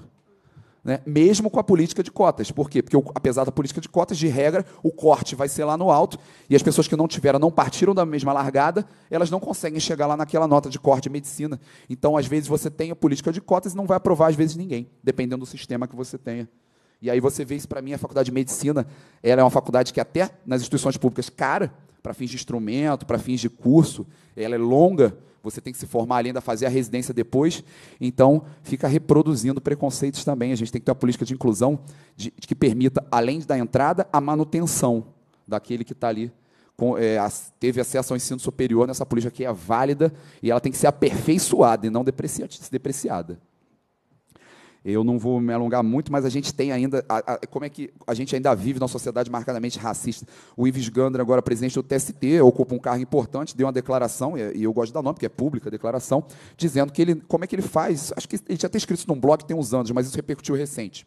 Como é que ele faz para viver no Brasil não sendo negro, nem homossexual, nem mulher, e sendo hétero, rico, e, e- é, aí não senta, aí ele coloca no mesmo, no mesmo bojo, ele coloca ainda, não sou assaltante e não sou ocupador de terras. Ele coloca no mesmo bojo negros, homossexuais, mulheres, assaltantes, ocupador de terras. Essa fala é pública, quem quiser acessar. E aí ele coloca, eu sou hétero, trabalhador, ele coloca trabalhador como se, aí ele faz o, antagonismo, né? Muito claro, o português ele não deixa a gente é, ser leviano aqui, mas o contraponto que é feito na fala dele é essa, é esse. Então, um preconceito marcado ali, pelo menos de forma, se não sei se é de forma desavisada, mas ele reproduz uma forma de, eh, de preconceituosa de olhar para esses grupos que, que são vulneráveis ainda a partir das políticas públicas que são desenvolvidas. Aí já trazendo para o lugar do direito, já que é onde eu posso ser mais propositivo, e aí trazer também para reflexão aqui a nossa política de drogas. A gente tem uma discussão, discussão no Supremo Tribunal Federal sobre a descriminalização das drogas. Teve o voto do ministro Gilmar Mendes, teve voto do ministro Luiz Roberto Barroso, pediu o visto do ministro Alexandre de Moraes. Mas qual, o que está sendo em debate? O ministro Barroso abriu divergência para dizer que ele quer descriminalizar o uso apenas da maconha. E aí a gente vai, e aí eu, eu escrevo na minha dissertação de mestrado sobre a política de drogas do Brasil, e aí eu- a gente vai ver como é que essa própria forma de descriminalizar apenas a maconha, vista como a droga relaxante, a, a droga da classe média, ela também carrega um preconceito. Porque o usuário de crack, que é a droga mais barata, as drogas das periferias, ele vai continuar sendo criminalizado. Mas o judiciário do país quer descriminalizar o uso, parece que caminhará para descriminalizar o uso da maconha, vista como uma droga da classe média. Então, até na política de drogas, no debate que se faz hoje no Supremo Tribunal Federal, a gente tem lá uma marca de preconceito de Estado de forma de gerir a política de drogas do Brasil. O crime de desacato, a criminalização ainda do desacato. Na Defensoria Pública, eu fui relator de uma proposta para retirar de todas as repartições a ameaça velada de, de desacatar funcionário público será criminalizado. Entendo que ela é violadora da liberdade de expressão e que tolhe o direito de, de- de contestação da atitude do funcionário público em serviço. E a Defensora-Geral, felizmente, acatou o meu pedido e ela publicou, a gente retirou da Defensoria Pública do Estado de Minas Gerais todos os avisos que possam inibir a crítica daquele usuário do nosso serviço, que, que- que o defensor público não fica, que fica aquela ameaça velada ali no corredor, né? Parece que não, mas aquilo também é uma forma de oprimir do Estado. Também é uma, e é isso nas batidas policiais a gente sabe como é que vira e mexe, são carregadas pessoas porque às vezes tiveram uma postura combativa, não tiveram aquela postura passiva, dócil, diante de uma abordagem mais violenta, uma abordagem mais truculenta. E aí tem essa figura, é, essa espada que fica sobre a cabeça daquele que quer contestar, do desacato. E, a, e a teve uma turma do STJ que entendeu que o desacato feria a Convenção Interamericana de Direitos Humanos. E foi com base nessa decisão que eu, eu fiz esse pedido. Agora, a sessão do criminal do Superior Tribunal de Justiça voltou atrás e disse que o desacato continua sendo crime. As defensorias públicas, a gente vai levar isso para o Supremo Tribunal Federal. E a Defensoria de Minas aqui, eu já fiz sugestão para a gente entrar com um amigo escure, para contribuir para esse debate lá no Supremo. E isso é uma outra forma que, como o direito, reproduz também preconceitos. E, e não só a Polícia Militar, mas o Judiciário, que é quem confirma o flagrante e quem converte ele em preventiva. Sempre, às vezes, numa, numa zona limite ali entre o usuário e o tráfico, e o tráfico de drogas, sempre dependendo, dependendo de onde seja a abordagem, para uma área de. Aqui é uma área intensa de crime de tráfico de drogas. Onde é que é essa área intensa de crime de tráfico de drogas para o judiciário? As periferias nacionais, não são os condomínios. A gente não vê a, ninguém chutando porta em condomínio de classe média alta. E, aí não é só a polícia, é o judiciário que depois vai legitimar essa prática nas periferias. Quando a polícia vai chutar a porta de uma comunidade, vai chutar a porta de uma periferia nacional. Isso não estou falando de Minas Gerais, estou falando isso de política pública Brasil. Como é que depois vai ser chancelado e vai dizer que isso é uma mera irregularidade. Essa é a jurisprudência do judiciário. Mera irregularidade. Tinha ali um crime permanente. Foi a tese desenvolvida. Porque o policial teve notícias de uma pessoa que não pode se identificar, sempre, que ali era praticado tráfico de drogas. E são, são práticas que a gente vê no dia a dia da minha audiência criminal. Eu tinha cinco audiências de instrução, eu estou falando aqui com. Isso é dia a dia nosso, não é uma coisa que eu li no livro. É uma coisa do meu dia a dia mesmo. Que a gente, a gente verificava. Helicóptero só em algumas operações. E aí tem questão outra aqui que eu tô, estou em diálogo com a Polícia Civil aqui do Estado de Minas Gerais, aí talvez aí sendo propositivo, eu conclamo aos deputados para talvez é, a, nos ajudar, aqui a Comissão de Direitos Humanos, essa questão de apresentação de presos à imprensa. Como é que isso não está regulado e aqui em Minas Gerais ainda acontece? Eu, eu, eu, fiz uma recomendação à Polícia, à Polícia Civil de Minas Gerais que não fizesse esse tipo de abordagem, ou quando fizesse, justificasse por escrito qual é a utilidade dessa apresentação do ser humano ali preso para investigação. Porque num crime de estupro talvez tenha alguma, alguma utilidade. Teve subnotificações, aí a hora que ele é apresentado ali, mais pessoas poderão aparecer e registrar. Agora, no crime de tráfico de drogas, o que, que aquele pequeno avião da periferia vai contribuir, mostrar ele como um troféu de roupa da Secretaria de, da Secretaria de Administração Prisional ali, sentadinho, logo depois da apreensão, de olho arregalado ali, ainda sujo, da, da, da, das vezes da abordagem, sentado como um troféu ali. Lógico que tem a questão corporativa de divulgar o trabalho, é interessante. Agora, por que, que não divulga o nome, a idade? Por que, que precisa divulgar o rosto? Porque isso vai, vai reproduzir porque quem é sempre apresentado? São os ricos que são presos. Vocês já viram algum político famoso, milionário, ou um, um empresário famoso sentado de roupinha, sendo com um, baita, um batalhão de, de repórter tirando foto, piscando foto dele? Como se fosse um troféu? Então, essa, essa postura quase animal de gerir um, um preso em flagrante, e aí, e aí tem casos na Defensoria Pública, as pessoas que foram acusadas de homicídio foram apresentadas, dali há alguns meses a gente conseguiu a absolvição dele, se comprovou que ele não tinha aquela participação. E como é que ele volta depois para o bairro? Depois que ele já foi apresentado ali? Como é que ele volta depois para a periferia, depois de ter sido acusado de um homicídio triplamente qualificado? E aí depois ele é absolvido. Então, sem o devido processo legal, sem o respeito de garantias fundamentais, a gente tem a utilização desses presos como troféus.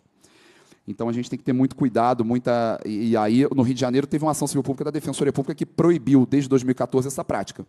E se a gente não conseguir chegar num termo aqui, infelizmente, a gente vai caminhar também para uma judicialização desse problema.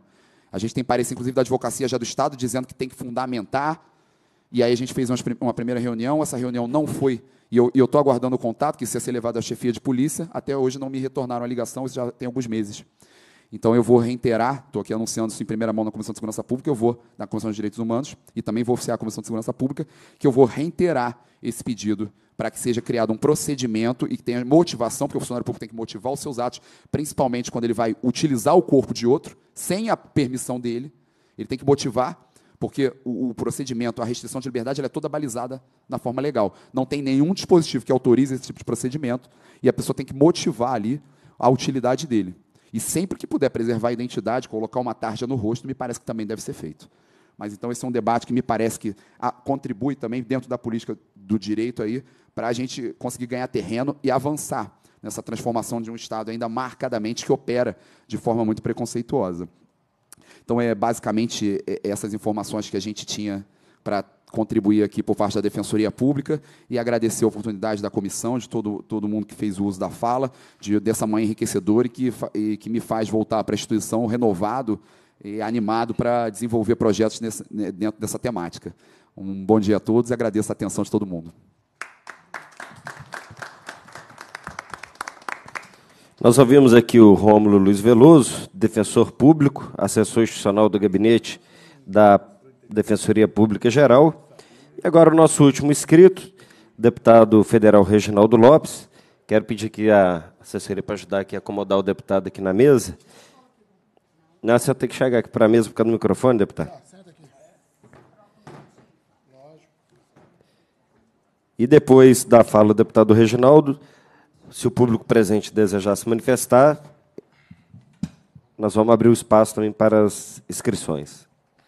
Então, obrigado, deputado Cristiano Silveira, nosso presidente da Comissão de Direitos Humanos, deputada Celisa Viola. É, agradecer aqui o Flávio Renegado, irmão de caminhada, de jornada. Em nome dele, eu cumprimento todos os presentes. Né, Priscila, cumprimento aqui todas as mulheres presentes. Quero, é, primeiro, dizer que nós estamos debatendo aqui o que, na minha opinião, é o maior problema do país, que tem que ser enfrentado, que é a questão da violência. Agora, é evidente que, para enfrentar a violência, e, lamentavelmente, a questão dos homicídios no Brasil, tem que enfrentar focalizado na morte dos jovens negros e pobres. Por uma questão muito simples, porque quem morre são os jovens negros e pobres. O Brasil, nos últimos 15 anos, reduziu quase aproximadamente 35% de morte de jovens brancos. E, no mesmo período, o Brasil aumentou quase 40% a morte de jovens negros e pobres. E os indicadores comprovam que 80% das pessoas que são assassinadas no Brasil são negros. Portanto, nenhum programa de Estado, nenhum programa de políticas sociais e no campo da política de segurança pública será vitorioso se de fato não tiver uma estratégia para enfrentar a morte dos nossos jovens negros e pobres. Primeiro, eu quero aqui denunciar a quem interessa esse silêncio da sociedade brasileira perante tantos cadáveres. A quem interessa? Eu acho que todos nós somos pecadores. Todos os deputados federais, todos os deputados estaduais, todos os vereadores, todos os prefeitos, os governadores, o presidente da República, todos os comandantes das polícias, o Ministério Público, o juiz, o sistema de persecução penal, as perícias, os promotores. Nesse campo, todos são pecadores todos são responsáveis pela situação do país. E, em especial, eu acho que a grande mídia brasileira é criminosa. Por que, que a grande mídia brasileira é criminosa? Porque ela deixa naturalizar, ou ela contribui para naturalizar, ou ela, diria mais, alguns programas incentivam, inclusive, a, o assassinato de pessoas pobres e de negros no Brasil. Eu tive a oportunidade de aprovar na CPI de extermínio de jovens negros e pobres a convocação das quatro grandes emissoras no Brasil. É lógico que eu tive que negociar, porque são Deus, né? então tive que ir até a eles para ouvi-lo. E falei para Datena, Marcelo Rezende, que já até faleceu, que o que eles promovem no programa deles é uma autorização de execução extrajudicial. Porque muitos de nós, e eu sou contra a pena de morte, mas o Brasil tem uma pena de morte ainda mais agravada, que é extrajudicial. extrajudicial. O Brasil executa e permite é, o assassinato dos nossos jovens no país. Porque, de fato, todos nós, evidente, ficamos comovidos e não queremos morte de ninguém, mas a grande mídia perde semanas, meses, com o assassinato de um americano que entra numa igreja no Texas e mata 26 pessoas. Mas nesse período que a grande mídia perde esse tempo para falar desse assassinato, o Brasil já matou mais de mil pessoas. Então é evidente que a grande mídia é responsável. Primeiro, que ela não dá visibilidade ao debate. Ela deixa na invisibilidade um debate extremamente comprovado. Olha para vocês verem. Em 30 anos de redemocratização, 32, o Brasil matou uma, uma população do Uruguai. Será que alguém pode achar isso normal? Nós matamos 3 milhões de pessoas. Tem mais desaparecidos na redemocratização do Brasil que no processo da ditadura. Porque quando um Estado consegue diminuir o índice de homicídio, na mesma proporção, aumenta o número de desaparecidos. É lógico que eu não consegui, com o tempo da CPI, investigar os desaparecimentos. Mas causa uma desconfiança. Quais são as causas desses desaparecimentos? Há muita denúncia de, de cemitérios clandestinos, de desovas. Portanto, esse tema, deputada Celisa Viola, é o tema mais importante que nós temos que enfrentar enquanto homens públicos. E a sociedade brasileira deve enfrentar esse tema. Portanto, eu, depois de caminhar com a CPI e ter concluído a CPI de violência contra jovens negros e pobres, e olha que eu nunca quis participar de CPI, porque a impressão que eu tenho é que CPI termina em pizza, realmente. Então, para não queimar a língua e nem pagar porque eu falo, quando nós terminamos a CPI, é evidente que ela por si só e a sua conclusão foi um fato histórico, porque é a primeira vez que um parlamento federal reconhece que o Brasil é racista. Vamos ser bem objetivos. Porque essa dissimulação é a causa da naturalização das mortes. Então, porque o genocídio e, e, e, e, as mortes dos nossos jovens têm uma base. A base do genocídio é o racismo, institucionalizado no Brasil em todas as instituições. Vamos ser. O que o âncora da TV Globo fez é o que ele pensa. Só tem que ele faz teatro na frente das câmeras, mas é aquilo que ele pensa. Imagina o principal televisão do Brasil com o maior índice de popularidade e o seu principal âncora pensa daquela forma. Por isso que não há espaço para debater esse tema na grande mídia. Mas se fosse o inverso, né, não precisaria ser esse montante, mas se fosse o inverso, fosse uns 4, 5 mortes por dia de brancos, isso não estaria na situação e no silêncio que se encontra o tema ou na invisibilidade que se encontra o tema. Portanto, deputado Cristiano, quando terminamos a CPI e definimos que há o racismo e existe o genocídio, tem gente dizendo que é exagero dizer que há genocídio. Né? Tem muitos genocídios no mundo afora que mataram muito menos pessoas do que matam no Brasil. Eu comprovei, eu peguei todos os genocídios que foram reconhecidos. Muito menos. Mas também, se as pessoas não importam com tanto cadáver, que são acumulados dias a dias, do qual a nossa persecução penal, o nosso sistema penal é falido, porque ele fez uma opção no nosso sistema penal. Ele é patrimonialista, vamos ser bem sinceros. Não há nenhuma preocupação da persecução penal no Brasil, dos, da perícia, dos delegados, do Ministério Público, do juiz, de elucidar crime contra a vida. O Brasil tem o menor índice de elucidação de crime contra a vida. É 3%. 8% é consegue ser elucidado e 3% são condenados. Então, é evidente, imaginamos todos aqui, Priscila, que se fosse uma escola, para cada 100 alunos, 97 fosse reprovado. O que você acha, prefeito próximo, vereador, prefeito Barbacena, Kikito? O que você acha que ia acontecer com essa escola? O senhor que vai ser prefeito um dia. Se eu chego lá na escola do senhor, 100 alunos, 97 reprovado. O senhor não sairia da cadeira a tapa, com todo respeito. Imagina se fosse um hospital, deputada Celisa Leão. Para cada 100 cirurgia, 97 falecessem na mesa de cirurgia. É com todo respeito. O nosso sistema de segurança pública, todo mundo quer mais recursos, todos os debates, com todo respeito, são corporativos, não é sobre políticas públicas, representantes no Congresso, uma turma da Polícia Civil, outra turma da Polícia Militar, eu me dou bem com eles, mas, lamentavelmente, o debate é só corporativo.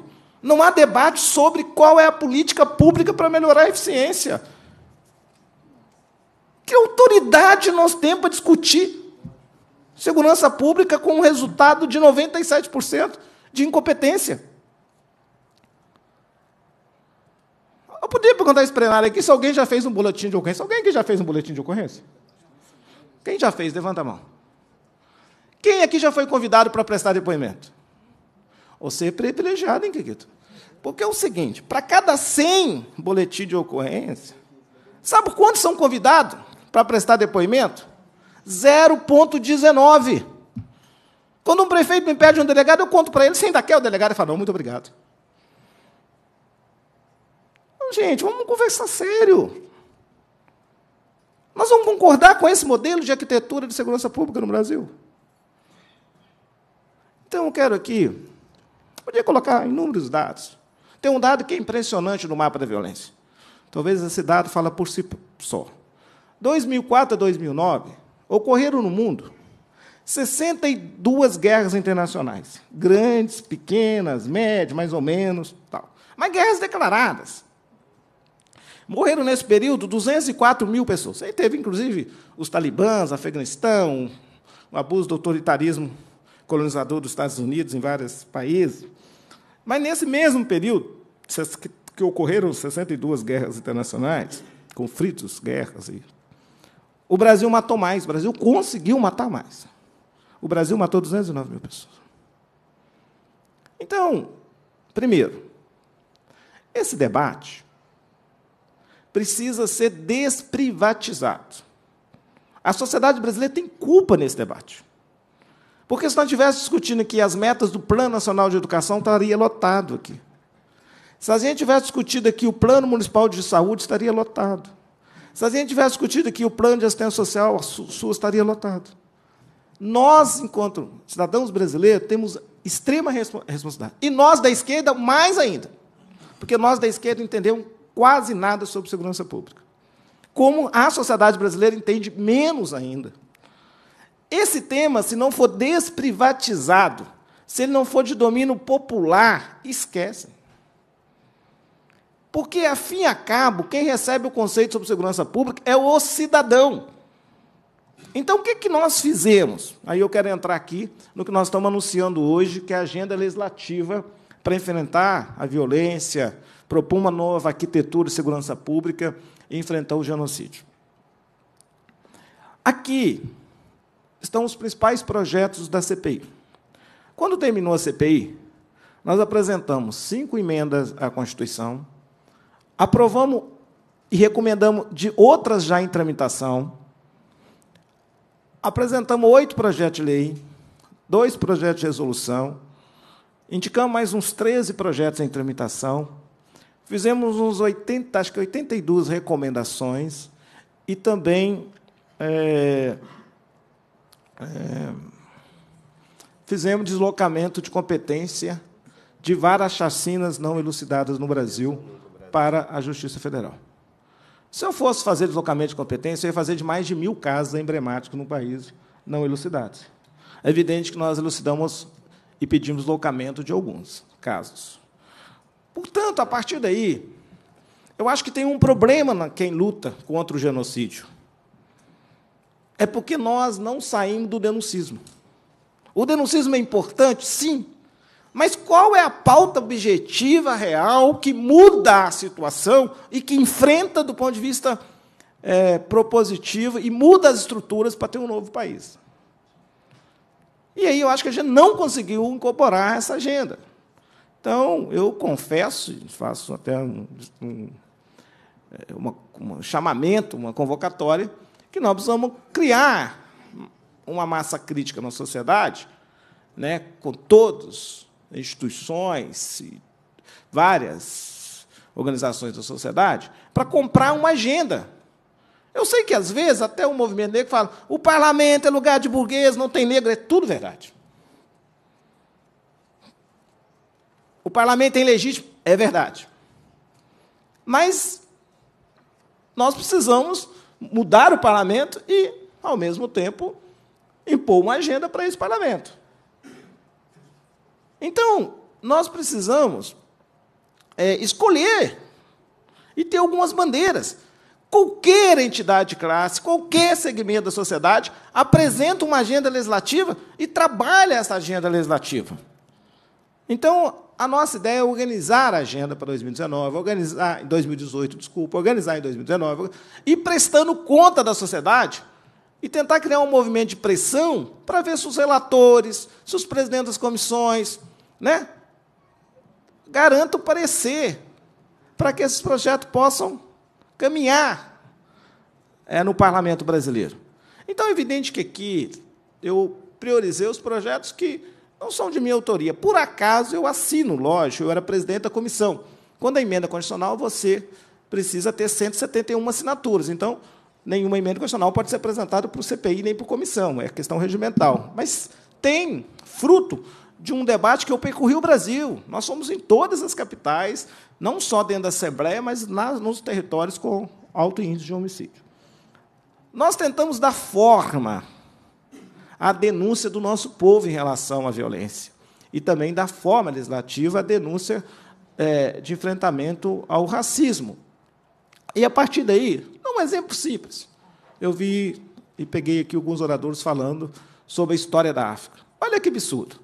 Nós fizemos a lei, o presidente Lula sancionou, 9 de janeiro de 2003, a lei da história da África como componente curricular.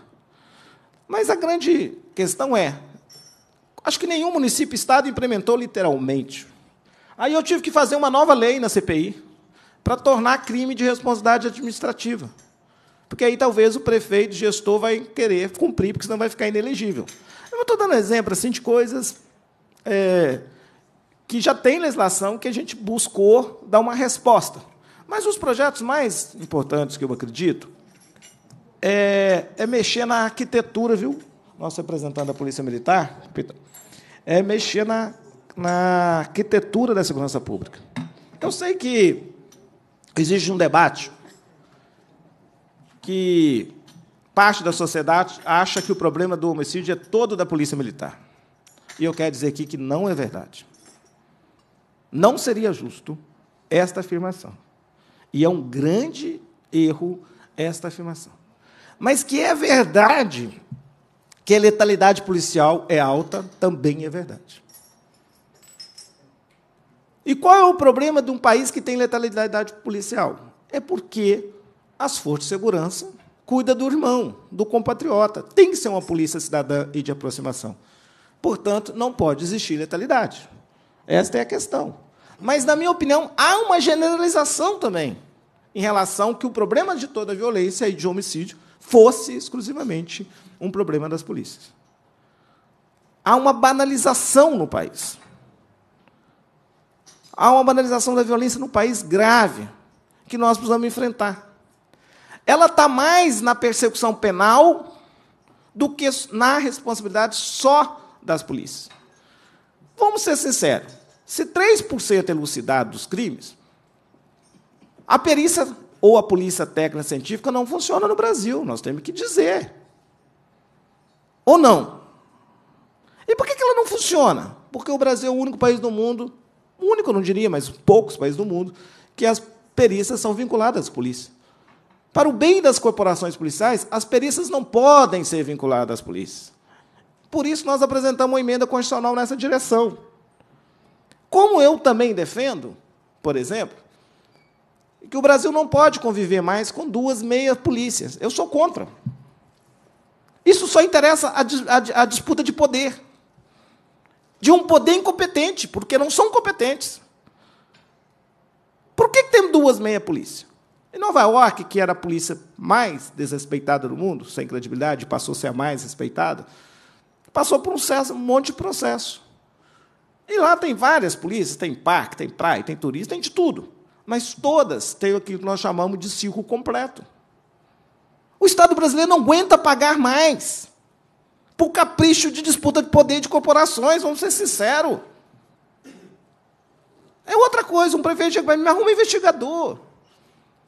Você tira a, a, a, história da polícia de aproximação e a polícia cidadã e a polícia comunitária. Da onde ela está numa área conflagrada, que ela estabelece diálogo com a sociedade, tira ela do processo de investigação e coloca uma outra, que não tem nenhuma relação. Por isso não consegue resolver nada. Então, são muitos problemas, mas é lógico que tudo isso precisa de quê? De controle externo. É lógico que tem que ter controle externo das polícias. Ouvidaria. Então, nós temos que fazer uma mudança completa nesse negócio de segurança pública. Completa. Sem discutir corporações.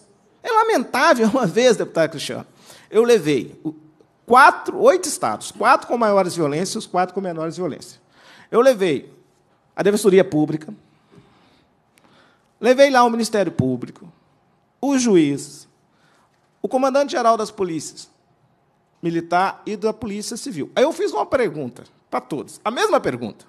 Fui perguntando assim: se você perguntar para a Polícia Militar assim, olha que legal, o que é que você acha da unificação da polícia? A Polícia Militar vai dizer o seguinte: todas, não estou fazendo generalização.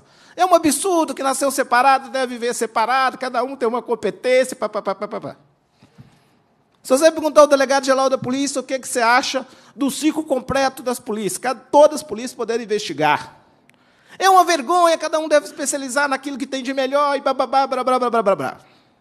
Se você perguntar ao Ministério Público, que gasta 3 mil dias no inquérito, o que, que ele acha dos atos de instrução?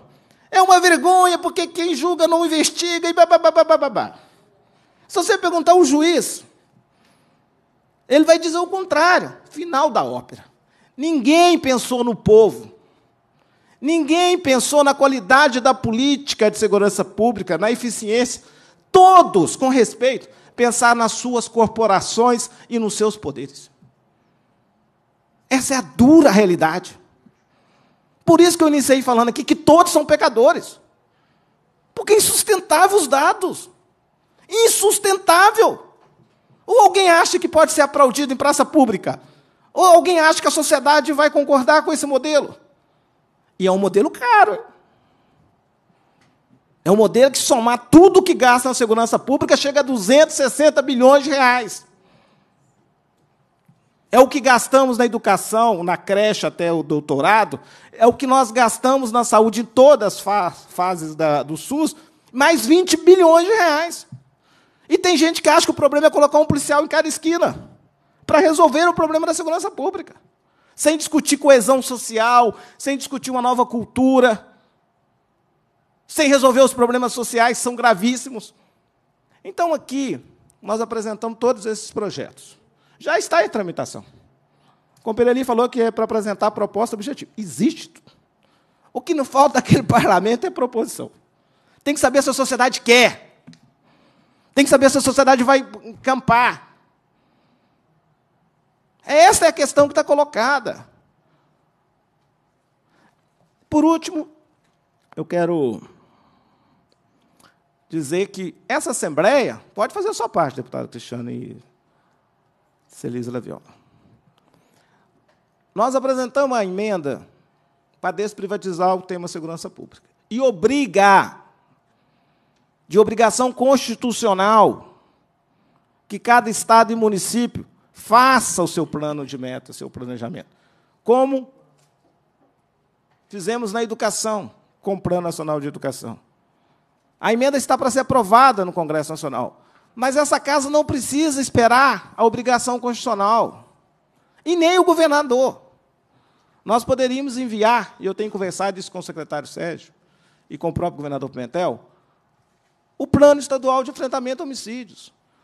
Nós fizemos o plano nacional, e vou votar até dezembro, vou concluir até o dia 17 de dezembro, para levar para o plenário, um plano objetivo, porque quem tem muita meta não tem meta nenhuma, que são cinco macrometas para os próximos dez anos. Quais são as cinco macrometas? Primeiro, reduzir os homicídios para um dígito. Se passar de um dígito, é uma vergonha, o país está em guerra civil. Reduzir para um dígito é preservar 600 mil vidas a cada 10 anos de negro e jovem no Brasil. Segundo, elucidar os crimes em 80%. Será que em 10 anos nós não podemos mudar o sistema de persecução penal e elucidar 80% dos crimes? 80% dos crimes, qualquer país pequeno, pobre da América Latina elucida. Porque quanto maior é a elucidação, quanto maior, menor é a impunidade, menor é o crime. Não é uma quanto maior a pena, menor o crime, não. Não é isso. Mudança do Código Penal não resolve nada. Terceiro, zerar a letalidade policial. As polícias são garantidoras de direito e não violadoras de direito. Quarto, nós temos que ser justos. O conceito equivocado sobre segurança pública mata e morre. Não pode ter polícia de confronto. Por isso nós apresentamos uma PEC para tirar as polícias de força auxiliar do Exército. Polícia não é força auxiliar do Exército. Isso nós herdamos na Constituição Democrática da ditadura, do qual medo de ter uma nova marcha da legalidade que o Brizola derrotou, derrotou o golpe no Jano. É lógico que o governador tem mais polícia que o Exército, porque o governador tem um milhão de polícia, o Exército tem 260 mil. E essa vinculação de se fosse auxiliar do Exército é uma vergonha. Por que uma vergonha? Porque interfere na formação dos policiais, interfere na academia, interfere no conceito errado, porque ela cuida do irmão, do compatriota. O exército cuida do inimigo externo. É conceito, mas é importante. Então nós queremos tirar para quê? Porque a polícia morre. A mortalidade policial no Brasil é muito alta. E, fim a cabo, o policial é pobre e negro também. Porque nós não podemos ter dois discursos. Ou vocês têm dúvida que quem morre na ponta, porque a polícia no Brasil, e eu defendo polícia de entrada única também que poucos países do mundo têm a polícia que os mais pobres entram para ser cabo e soldado e os mais ricos entram para o oficialato. Quer chegar comandante, coronel? Vai para o chão de fábrica. Desenvolve talento de polícia de investigação, entra para ser soldado, cabe e chega a comandante. Nós podemos discutir diminuir o interstício. Porque, na verdade, eu vim aqui um debate sobre desmilitarização. Eu tenho dúvida. O que é desmilitarizar? É não ter arma? Que, que é? Eu prefiro achar que é um risco para o Estado de Direito uma polícia civil com um milhão de pessoas, sem nenhum comando. Isso nós temos que discutir na esquerda brasileira. Se está correto esse conceito e o que é o conceito de desmilitarizar. Então, é lógico que é uma outra polêmica. Se a gente fosse discutir que pauta de. Apesar que está aqui, tem uma PEC sobre isso, de unificação de uma polícia civil. É, mas nós devemos discutir. Então, é evidente que aqui eu fiz uma fala mais provocativa, que se a gente fosse debater cada PEC, cada PL e tal, vamos gastar aqui, ficar um dia todo aqui no seminário, do qual nós podemos fazer, viu, Cristiano? Assim, então, uma disposição para debater. Mas, por último, eu quero dizer que nós estamos nessa caminhada. Né? A quinta macrometa é fazer políticas de reparação de danos. Nós apresentamos uma PEC para 2% do IPI e para um Fundo Nacional de Superação do Racismo, reparação de danos, e promoção da igualdade. Se a comissão, a CPI, está dizendo que é racismo, tem que botar dinheiro ou não tem que botar dinheiro? A questão é orçamento público, então tem que colocar dinheiro. Criou a Secretaria de Promoção e Igualdade Racial em todos os lugares. Colocou os melhores quadros, mas deixou os quadros lá vendidos. Por quê? Porque não tem dinheiro. Como é que faz política pública sem dinheiro e sem dotação orçamentária? Se tem prioridade, tem que colocar dinheiro, recurso, orçamento. Então, nós estamos propondo que 2% do IPI seja para um Fundo Nacional de Superação do Racismo. Por quê? Porque a quinta macrometa fala em políticas sociais. Políticas sociais em território que tem homicídio. Sabe em quantos municípios ocorrem 90% dos homicídios no Brasil? Porque a gente falando assim, parece que todos os municípios estão tá matando todo mundo. Não é verdade. Tem muita violência. Na homicídio ocorre 90% em 142 municípios. Não é por falta de diagnóstico. Não é, as pessoas sabem o território. Os homicídios ocorrem geralmente quinta a segunda-feira. As pessoas sabem o horário, a partir das 9 horas da noite. As pessoas sabem a idade, o pico é 19 anos. As pessoas sabem que 93% são homens, 80% são negros. Só não faz porque não tem vergonha na cara. É possível refazer os territórios. Mas para isso precisa ter o que lá? Universidade. A universidade é só no centro com a burguesia. Tem que ter lá. Escola tempo integral não tem, tudo lá é puxadinho, não tem escola de 100 mil metros quadrados, não tem os equipamentos, não tem posto de saúde, não tem iluminação, não tem ciclovia, não tem esporte, não tem nada. Alguém falou aqui, eu acho que foi o renegado, nessas comunidades, a presença da polícia, que deveria ser a última presença do Estado, com todo respeito, é a única que sobrou para eles. A única presença do Estado é a polícia. Então nós não estamos tratando dessa maneira séria, gente. O cara vem para mim, eu vou vender uma consultoria, fazer um diagnóstico, vai vender para, sei lá, para caixa prego. Isso todo mundo já sabe. É questão de ação e prioridade. É questão de orçamento público. Ou vamos alocar orçamento público ou não vamos alocar orçamento público. Por isso que a quinta meta é objetiva. E lógico que essas cinco macrometas têm que definir as diretrizes. Quem tem que definir as diretrizes para cumprir essas macrometas? É a Assembleia Legislativa. Dessa reunião aqui, pode-se constituir uma comissão especial para elaborar o plano estadual. Como também os vereadores de Babacena podem fazer lá na Câmara. A sociedade tem que dominar esse tema.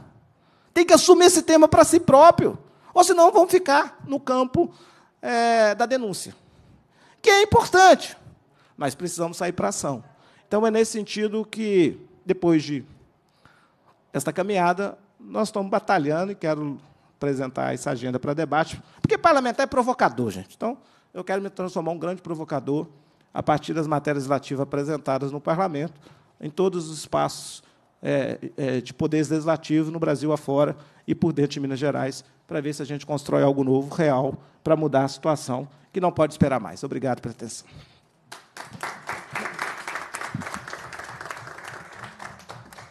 Ok, obrigado, deputado Reginaldo Lopes. Consulta aqui aos convidados, o público no plenário, se deseja fazer uso da palavra. Alguma pergunta, intervenção, questionamentos? Então, posso passar aqui para a consideração final, não é isso?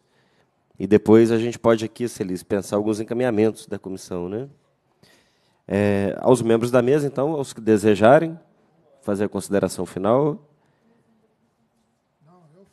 Flávio? Pois não, Flávio. É, queria convidar todo mundo aí. A partir de amanhã nós vamos ter na porta do Palácio das Artes o ato contra a censura. Vai estar acontecendo e lá nós vamos estar fazendo, a partir de lá nós vamos lançar um, um festival que a gente fez ano passado, que é o Somos Todos Black. A gente vai estar fazendo um ato, nós vamos estar lançando essa agenda do Reginaldo lá também. Acho importante a gente participar do, do, do processo todo, mobilizar. Acho que em tempos onde a cultura está sendo marginalizada mais uma vez, acho que é importante a gente, como classe artística de resistência, estar tá nesses espaços aí, lutando pelo nosso direito de voz. Né? Que é isso que a cultura tem, direito de voz. Então nós vamos estar tá lá, somos todos black. Tem a programação, vão ter várias mesas de discussão, religio, religio, religiosidade, arte, é, é, extermínio da juventude negra. Vamos ter vários, várias pautas, inclusive o lançamento da agenda, e vamos ter shows também. E, então, peço todo mundo aí, quem puder comparecer, a gente está lançando o evento agora, agora na parte da tarde, vai estar com toda a programação. E o Abaixa Senado já está nas minhas redes sociais também. O Cristiano vai me dar uma força aqui também para a gente poder fazer o texto e mandar ele online também para quem quiser fazer a assinatura online. Mas já está nas minhas redes sociais, o pessoal já pode interagir tanto no Facebook quanto no Instagram. Certo? Obrigado, Zumbi Vive. Eu sou Zumbi, eu sou Dandara. Vida longa ao meu povo. A gente continua resistindo e sobrevivendo. Valeu. Ok, obrigado. Flávio Renegado. Aqui do meu lado direito, desejo fazer as considerações. É, gostaria de mais uma vez agradecer essa iniciativa de todos e, como eu falei no final da minha fala, é um dever de todos nós, né? pessoas negras e pessoas brancas, nos engajarmos nessa luta e nesse esforço antirracista. Eu quero também é, falar para que todas as pessoas que estão nessa mesa, todas as pessoas que estão assistindo, seja onde estiverem, se sintam abraçados. Né? o que muito apareceu nas falas de cada pessoa são depoimentos pessoais de muita indignação e às vezes com sentimento muito de desistência. Algo que eu tenho trabalhado muito atualmente é a questão das nossas emoções e o que, que isso tem feito com a pessoa que é militante, a pessoa que luta por causas que por muitos dizem que já são causas perdidas. Que a gente consiga sempre somar forças e lembrar que hoje, que é dia 20 de novembro, dia de Zumbi dos Palmares, e dia de toda a população negra que a gente nunca desista. É fundamental o que a gente está fazendo. E se a gente tiver que parar para respirar, que a gente pare e respire. Mas pare e respire para construir depois uma sociedade que seja mais justa. E fica esse meu cumprimento para todo mundo. Obrigado. É o João Vitor Martins. Doutor Rômulo Luiz Veloso. Então, só de encerramento, eu queria conclamar todo mundo à reflexão, agradecer a oportunidade mais uma vez, de que a gente já está com as estatísticas, elas estão, foi até colocado aqui já na mesa, a gente já está com as estatísticas todas prontas. A gente é um país que não aguenta mais fazer estatística. A gente tem que passar a fazer política pública de inclusão. Então a gente tem a gente já tem o mapa, o Atlas da Violência saiu em relação à parte criminal. A gente tem o sistema educacional uma série de dados e estatísticas. Hoje a gente falou de inúmeras estatísticas aqui hoje e a gente tem que passar a discutir política pública. A gente já desvendou toda a estrutura que a gente está inserido e toda a estrutura atrasada, racista e de, de política de Estado racista também. Então a gente tem que promover política pública de igualdade verdadeira. Então, essa é a informação que eu faço ontem, e é emblemático. Ontem saiu na, na grande mídia um caso de um jovem ator negro que foi brutalmente espancado depois de ser assaltado e pedir socorro.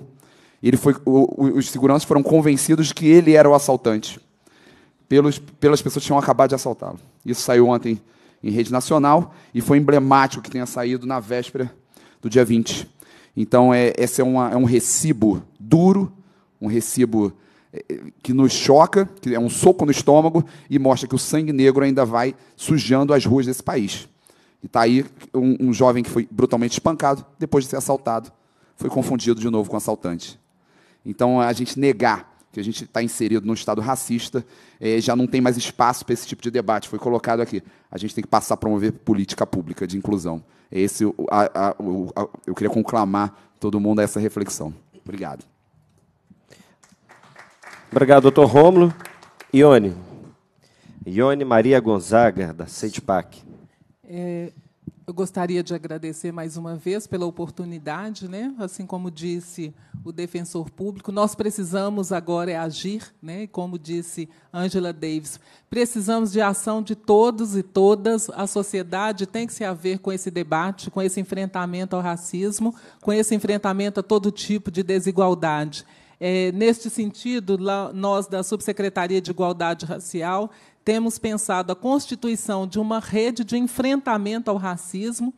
É, a gente tem aqui hoje a presença né, da Assembleia Legislativa, por meio da Comissão de Direitos Humanos, CEDIPAC, PM, né, sociedade civil, a partir do Instituto Tucã, Coletivo das Pretas, Tudo Nosso, a Defensoria Pública. Então, eu penso que nós já temos aqui um grande número de pessoas que podem pensar né, a constituição dessa rede. Eu acho que outras medidas são necessárias, precisam também ser elencadas, mas é, isso já é para o início. Né? Nós precisamos ter, então, políticas públicas e recursos públicos para a efetivação dessas políticas. Por isso, na minha fala inicial, eu trouxe a necessidade da gente é, pensar o PPAG e repensar quais são as prioridades, de fato, do nosso Estado para o enfrentamento ao racismo, para a redução das desigualdades, para o enfrentamento né, do genocídio aí da juventude negra e para o, o enfrentamento da mortalidade da, de negras e negros, independente de qualquer faixa etárias, porque nós temos também uma mortalidade desde a infância, a vida adulta, a, a, a terceira idade, vamos dizer assim. Então, hoje, nesse 20 de novembro, mais uma vez, conclamar a todas e todos para essa luta que é de todas e todos. Então, muito obrigado, uma boa tarde. E vidas negras importam, vida para a juventude negra. Obrigado, Ione.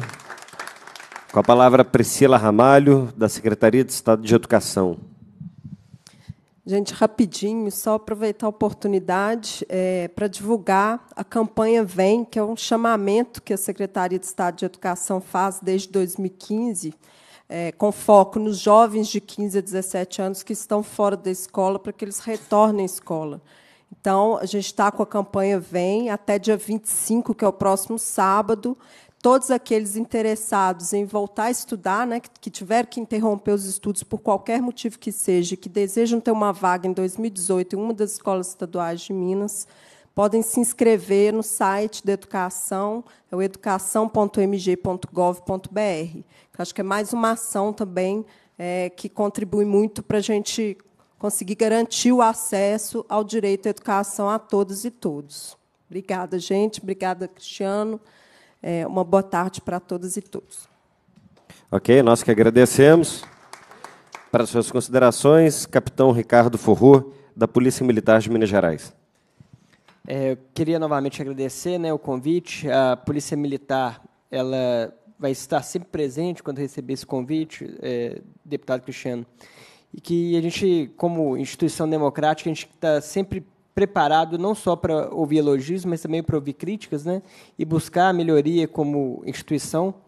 É, o, o, debate sobre segurança pública no Brasil, na verdade, é uma coisa bastante complexa, né? Mas eu acho que a fala do deputado Reginaldo já acho que fechou todas as, as coisas que eu poderia acrescentar aqui de forma bastante completa. E a Polícia Militar está sempre à disposição né, da, do, do povo mineiro para tentar fazer com que é, essa triste realidade ela possa ser resolvida. Só retomando só a, a fala que o Lucas pediu para perguntou para mim, né? O Lucas tinha falado que queria saber sobre as questões das investigações do, dos homicídios dos jovens negros e é, confesso que eu, eu não, não possuo esses dados, até porque a investigação quem faz é a Polícia Civil. A Polícia Militar atua naquele primeiro momento e aí, novamente, é a Polícia Civil de Minas Gerais, é, que vai fazer a investigação e a elucidação. É, conforme o, o, deputado Regial tinha falado, né, tem uma taxa de 8% de investigação, 3% de elucidação nos homicídios no Brasil, mas eu tinha. É, essa é uma média nacional, mas parece que Minas Gerais é um pouco melhor. A última vez que eu vi esse dado, a média nacional é um pouco, um pouco melhor. O que, quer, o que também não quer dizer que não possa também ser seletivo isso. Né? Eu recebi outro dia, é, eu participei outro dia de uma, de uma reunião com, com alguns atores do movimento LGBT e eles apontaram, por exemplo, que lá no movimento LGBT a elucidação de homicídios era menor do que do resto da sociedade. E, e aí fizeram essa acusação de seletismo em relação a, a, a, a questão da, da, elucidação dos homicídios contra a população LGBT. O que, então, o que pode também ocorrer, mas é, são é uma função não da minha instituição, né, então eu não me sinto é, preparado e nem legitimado para discutir sobre isso. É, e, no mais, é, coloco novamente o comando da instituição à disposição da Comissão de Direitos Humanos e a gente espera cada vez mais poder fazer uma, uma polícia mais cidadã e que possa atender o, essa demanda da sociedade. Obrigado, capitão. Agora, Fernanda Vieira de Oliveira, coordenadora do projeto Solta Minha Mãe e representante do coletivo Pretas em Movimento. É, primeiro, né, agradecer o convite e a mesa, que foi excelente, realmente. É, queria aproveitar para incluir nessa agenda que o deputado Reginaldo Lopes apresenta, e super importante, uma outra agenda que está sendo construída, foi construída pela sociedade civil já pelo segundo ano consecutivo, que é a Agenda Nacional pelo Desencarceramento. É, que precisa é, ter uma, uma atenção urgente, porque são vários os projetos de lei que têm passado nos últimos tempos que aumentam ou o tempo de encarceramento ou o próprio encarceramento em si, o número de pessoas encarceradas, e que tem causado uma enorme preocupação. O sistema carcerário em Minas está né, tá num processo bastante difícil, né, um processo também que tem a ver com a questão dos recursos públicos, também desse contingenciamento, e isso coloca em risco a vida das pessoas, e a vida das pessoas que vão estar em risco são jovens e negros, é, que eram moradores de periferia hoje estão no sistema prisional. E as medidas da Agenda Nacional do Desencarceramento, a maioria delas já são legislações que existem. Né? Elas só precisam ser cumpridas pelo nosso sistema de justiça, que começa lá na pontinha com a Polícia Militar e termina na mão do ministro. Que, e aí eu faço coro com o deputado Reginaldo. O nosso judiciário tem sido muito complicado nessa, nessa construção, assim, tem tido falas, o defensor público também falou a respeito, é, muito complicadas e que tem trazido muita dor. E a minha experiência como advogada, né, é, é profundamente diferente o olhar do juiz para o réu quando senta um réu negro e quando, quando senta um réu que ele considera branco na frente dele. E isso também não foi coisa que né, eu li em algum lugar, são coisas que eu vivo no meu cotidiano. A ponto de terminar a audiência, o réu branco ganhar um tapinha nas costas, não faz isso mais não, meu filho, né? E o réu negro ser exprimido no interrogatório até quase morrer do coração na cadeira. Então é muito diferente. E a gente precisa superar isso em nome do nosso próprio progresso enquanto nação. Muito obrigada. Muito bem, agora o Lucas da Silva, membro do Instituto Tucum. É, quero agradecer pela, pelo convite né, e conclamar toda a sociedade brasileira, né, lembrando, lembrar que esse dia não é, não é só um dia de, de comemoração. Né, nós temos que, ao longo de todo o ano, é, lembrar da situação do negro no Brasil, lembrar desse extermínio que ocorre com a juventude negra brasileira.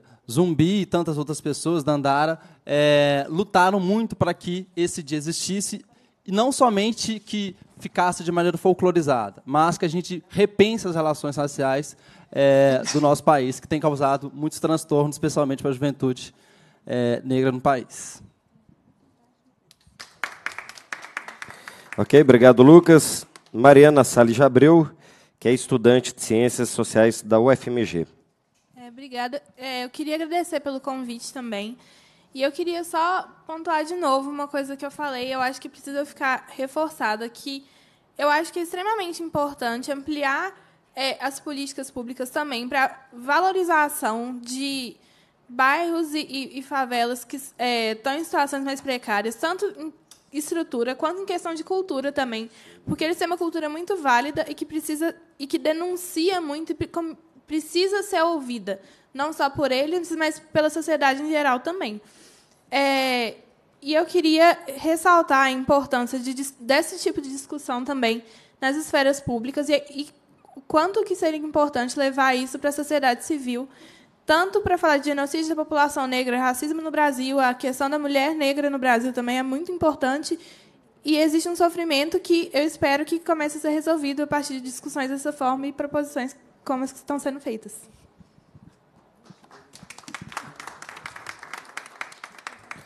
Ok, quero então agradecer aqui a presença de todos e todas pela, pelo bom debate qualificado, um debate de conteúdo, um debate que aponta aqui para algumas diretrizes, para que também a gente não fique no campo só da reflexão. Eu quero propor, deputada Celise, que na próxima reunião da comissão, onde tivermos o quórum qualificado, aprovarmos alguns requerimentos, sabe? Eu acho que é importante que o conjunto de projetos de lei e de projetos de emenda à Constituição que foram decorrentes da CPI do enfrentamento à, à violência e genocídio da juventude possa ser um objeto né, de, de, de, manifestação da Comissão de Direitos Humanos. Então, encaminhar ao presidente da Câmara dos Deputados um pedido de celeridade na apreciação dessas matérias e consequente votação. É, uma, outra, uma outra proposta que a gente possa estar aqui também encaminhando à governadoria um pedido de providência para que seja organizada uma agenda de discussão sobre violência, com ênfase no genocídio da juventude negra e pobre no estado de Minas, e, e com a conse conseguinte elaboração do Plano Estadual de, de Enfrentamento à Violência e Homicídio. Então, acho que são duas propostas aqui que nós temos, mais de manifestação formal da Comissão de Direitos Humanos. É, que não exclui né, outras propostas que surgiram, que em que pese não são regimentais, mas são da nossa organização política, como essa articulação de um fórum de enfrentamento ao racismo no Estado, do qual a Comissão de Direitos Humanos ela já se coloca à disposição de compor, né, e a gente depois marcar aí para poder construir a nossa agenda de trabalho. Acho também que é uma boa proposta. E aqui o Flávio Renegado, puxando essa... Claro que ele tem outras, outras lutas que vai fazer em conjunto, até na divulgação da agenda legislativa, mas o abaixo assinado para que a Assembleia possa votar o projeto de lei que trata da, da instituição de um feriado pelo dia 20 de novembro, dia de zumbi, dia de, da consciência negra. Inclusive, Flávio, sugiro que no cabeçalho do abaixo assinado, que seja é, pedir o presidente né, que tramite com celeridade essa matéria e que inclua também um substitutivo, colocando dia estadual da feriado, dia estadual da consciência negra e de zumbi. Né? Você colocou muito bem, não é só o dia da consciência negra, mas também do zumbi. Então, eu já vou pedir aqui a nossa assessoria da, da comissão também do mandato, para ficar à disposição para te ajudar a organizar, formatar esse documento e como que a gente pode fazer a divulgação dessa bandeira. Igual eu falei, poderia ser mais cômodo, eu, eu e a Celise ia lá no presidente, conversava com ele, colocava votação, acho que não teria objeção nenhuma, mas vai ser muito legal se isso vier como uma forma da manifestação da sociedade. Acho legal para a gente poder recolher as assinaturas, obrigado pelo, pela ajuda aí. Eu acho que também a gente tem que junto com isso, no dia da, que a gente conseguir essa votação, a gente tem a mobilização do povo para poder vir junto aqui e ver aqui quem que está votando contra, quem está votando a favor, porque a gente tem que colocar em pauta isso também cobrar dos nossos parlamentares. Quem está junto, quem não está, para depois, na hora do, de pedir voto, a gente falar, é, você não está na nossa. Não, não levanta as nossas bandeiras. Que eu acho importante a gente levar esse tipo de ação para o povo também entender como é que a gente tem que cobrar os parlamentares também. Mas obrigado aí pelo auxílio, vamos que vamos. Valeu.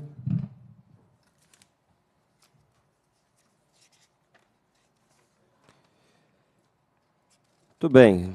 Então, mais uma vez agradecendo a todos e a todas pela brilhante participação, pela disponibilidade de estar aqui hoje conosco e a gente marcando também na Assembleia Legislativa esse 20 de novembro. Cumprida a finalidade da reunião, a presidência agradece a presença dos parlamentares, dos convidados e do público presente, convoca os membros para a próxima reunião ordinária, determina a lavratura da ata e encerra os trabalhos. Tenham todos uma ótima tarde.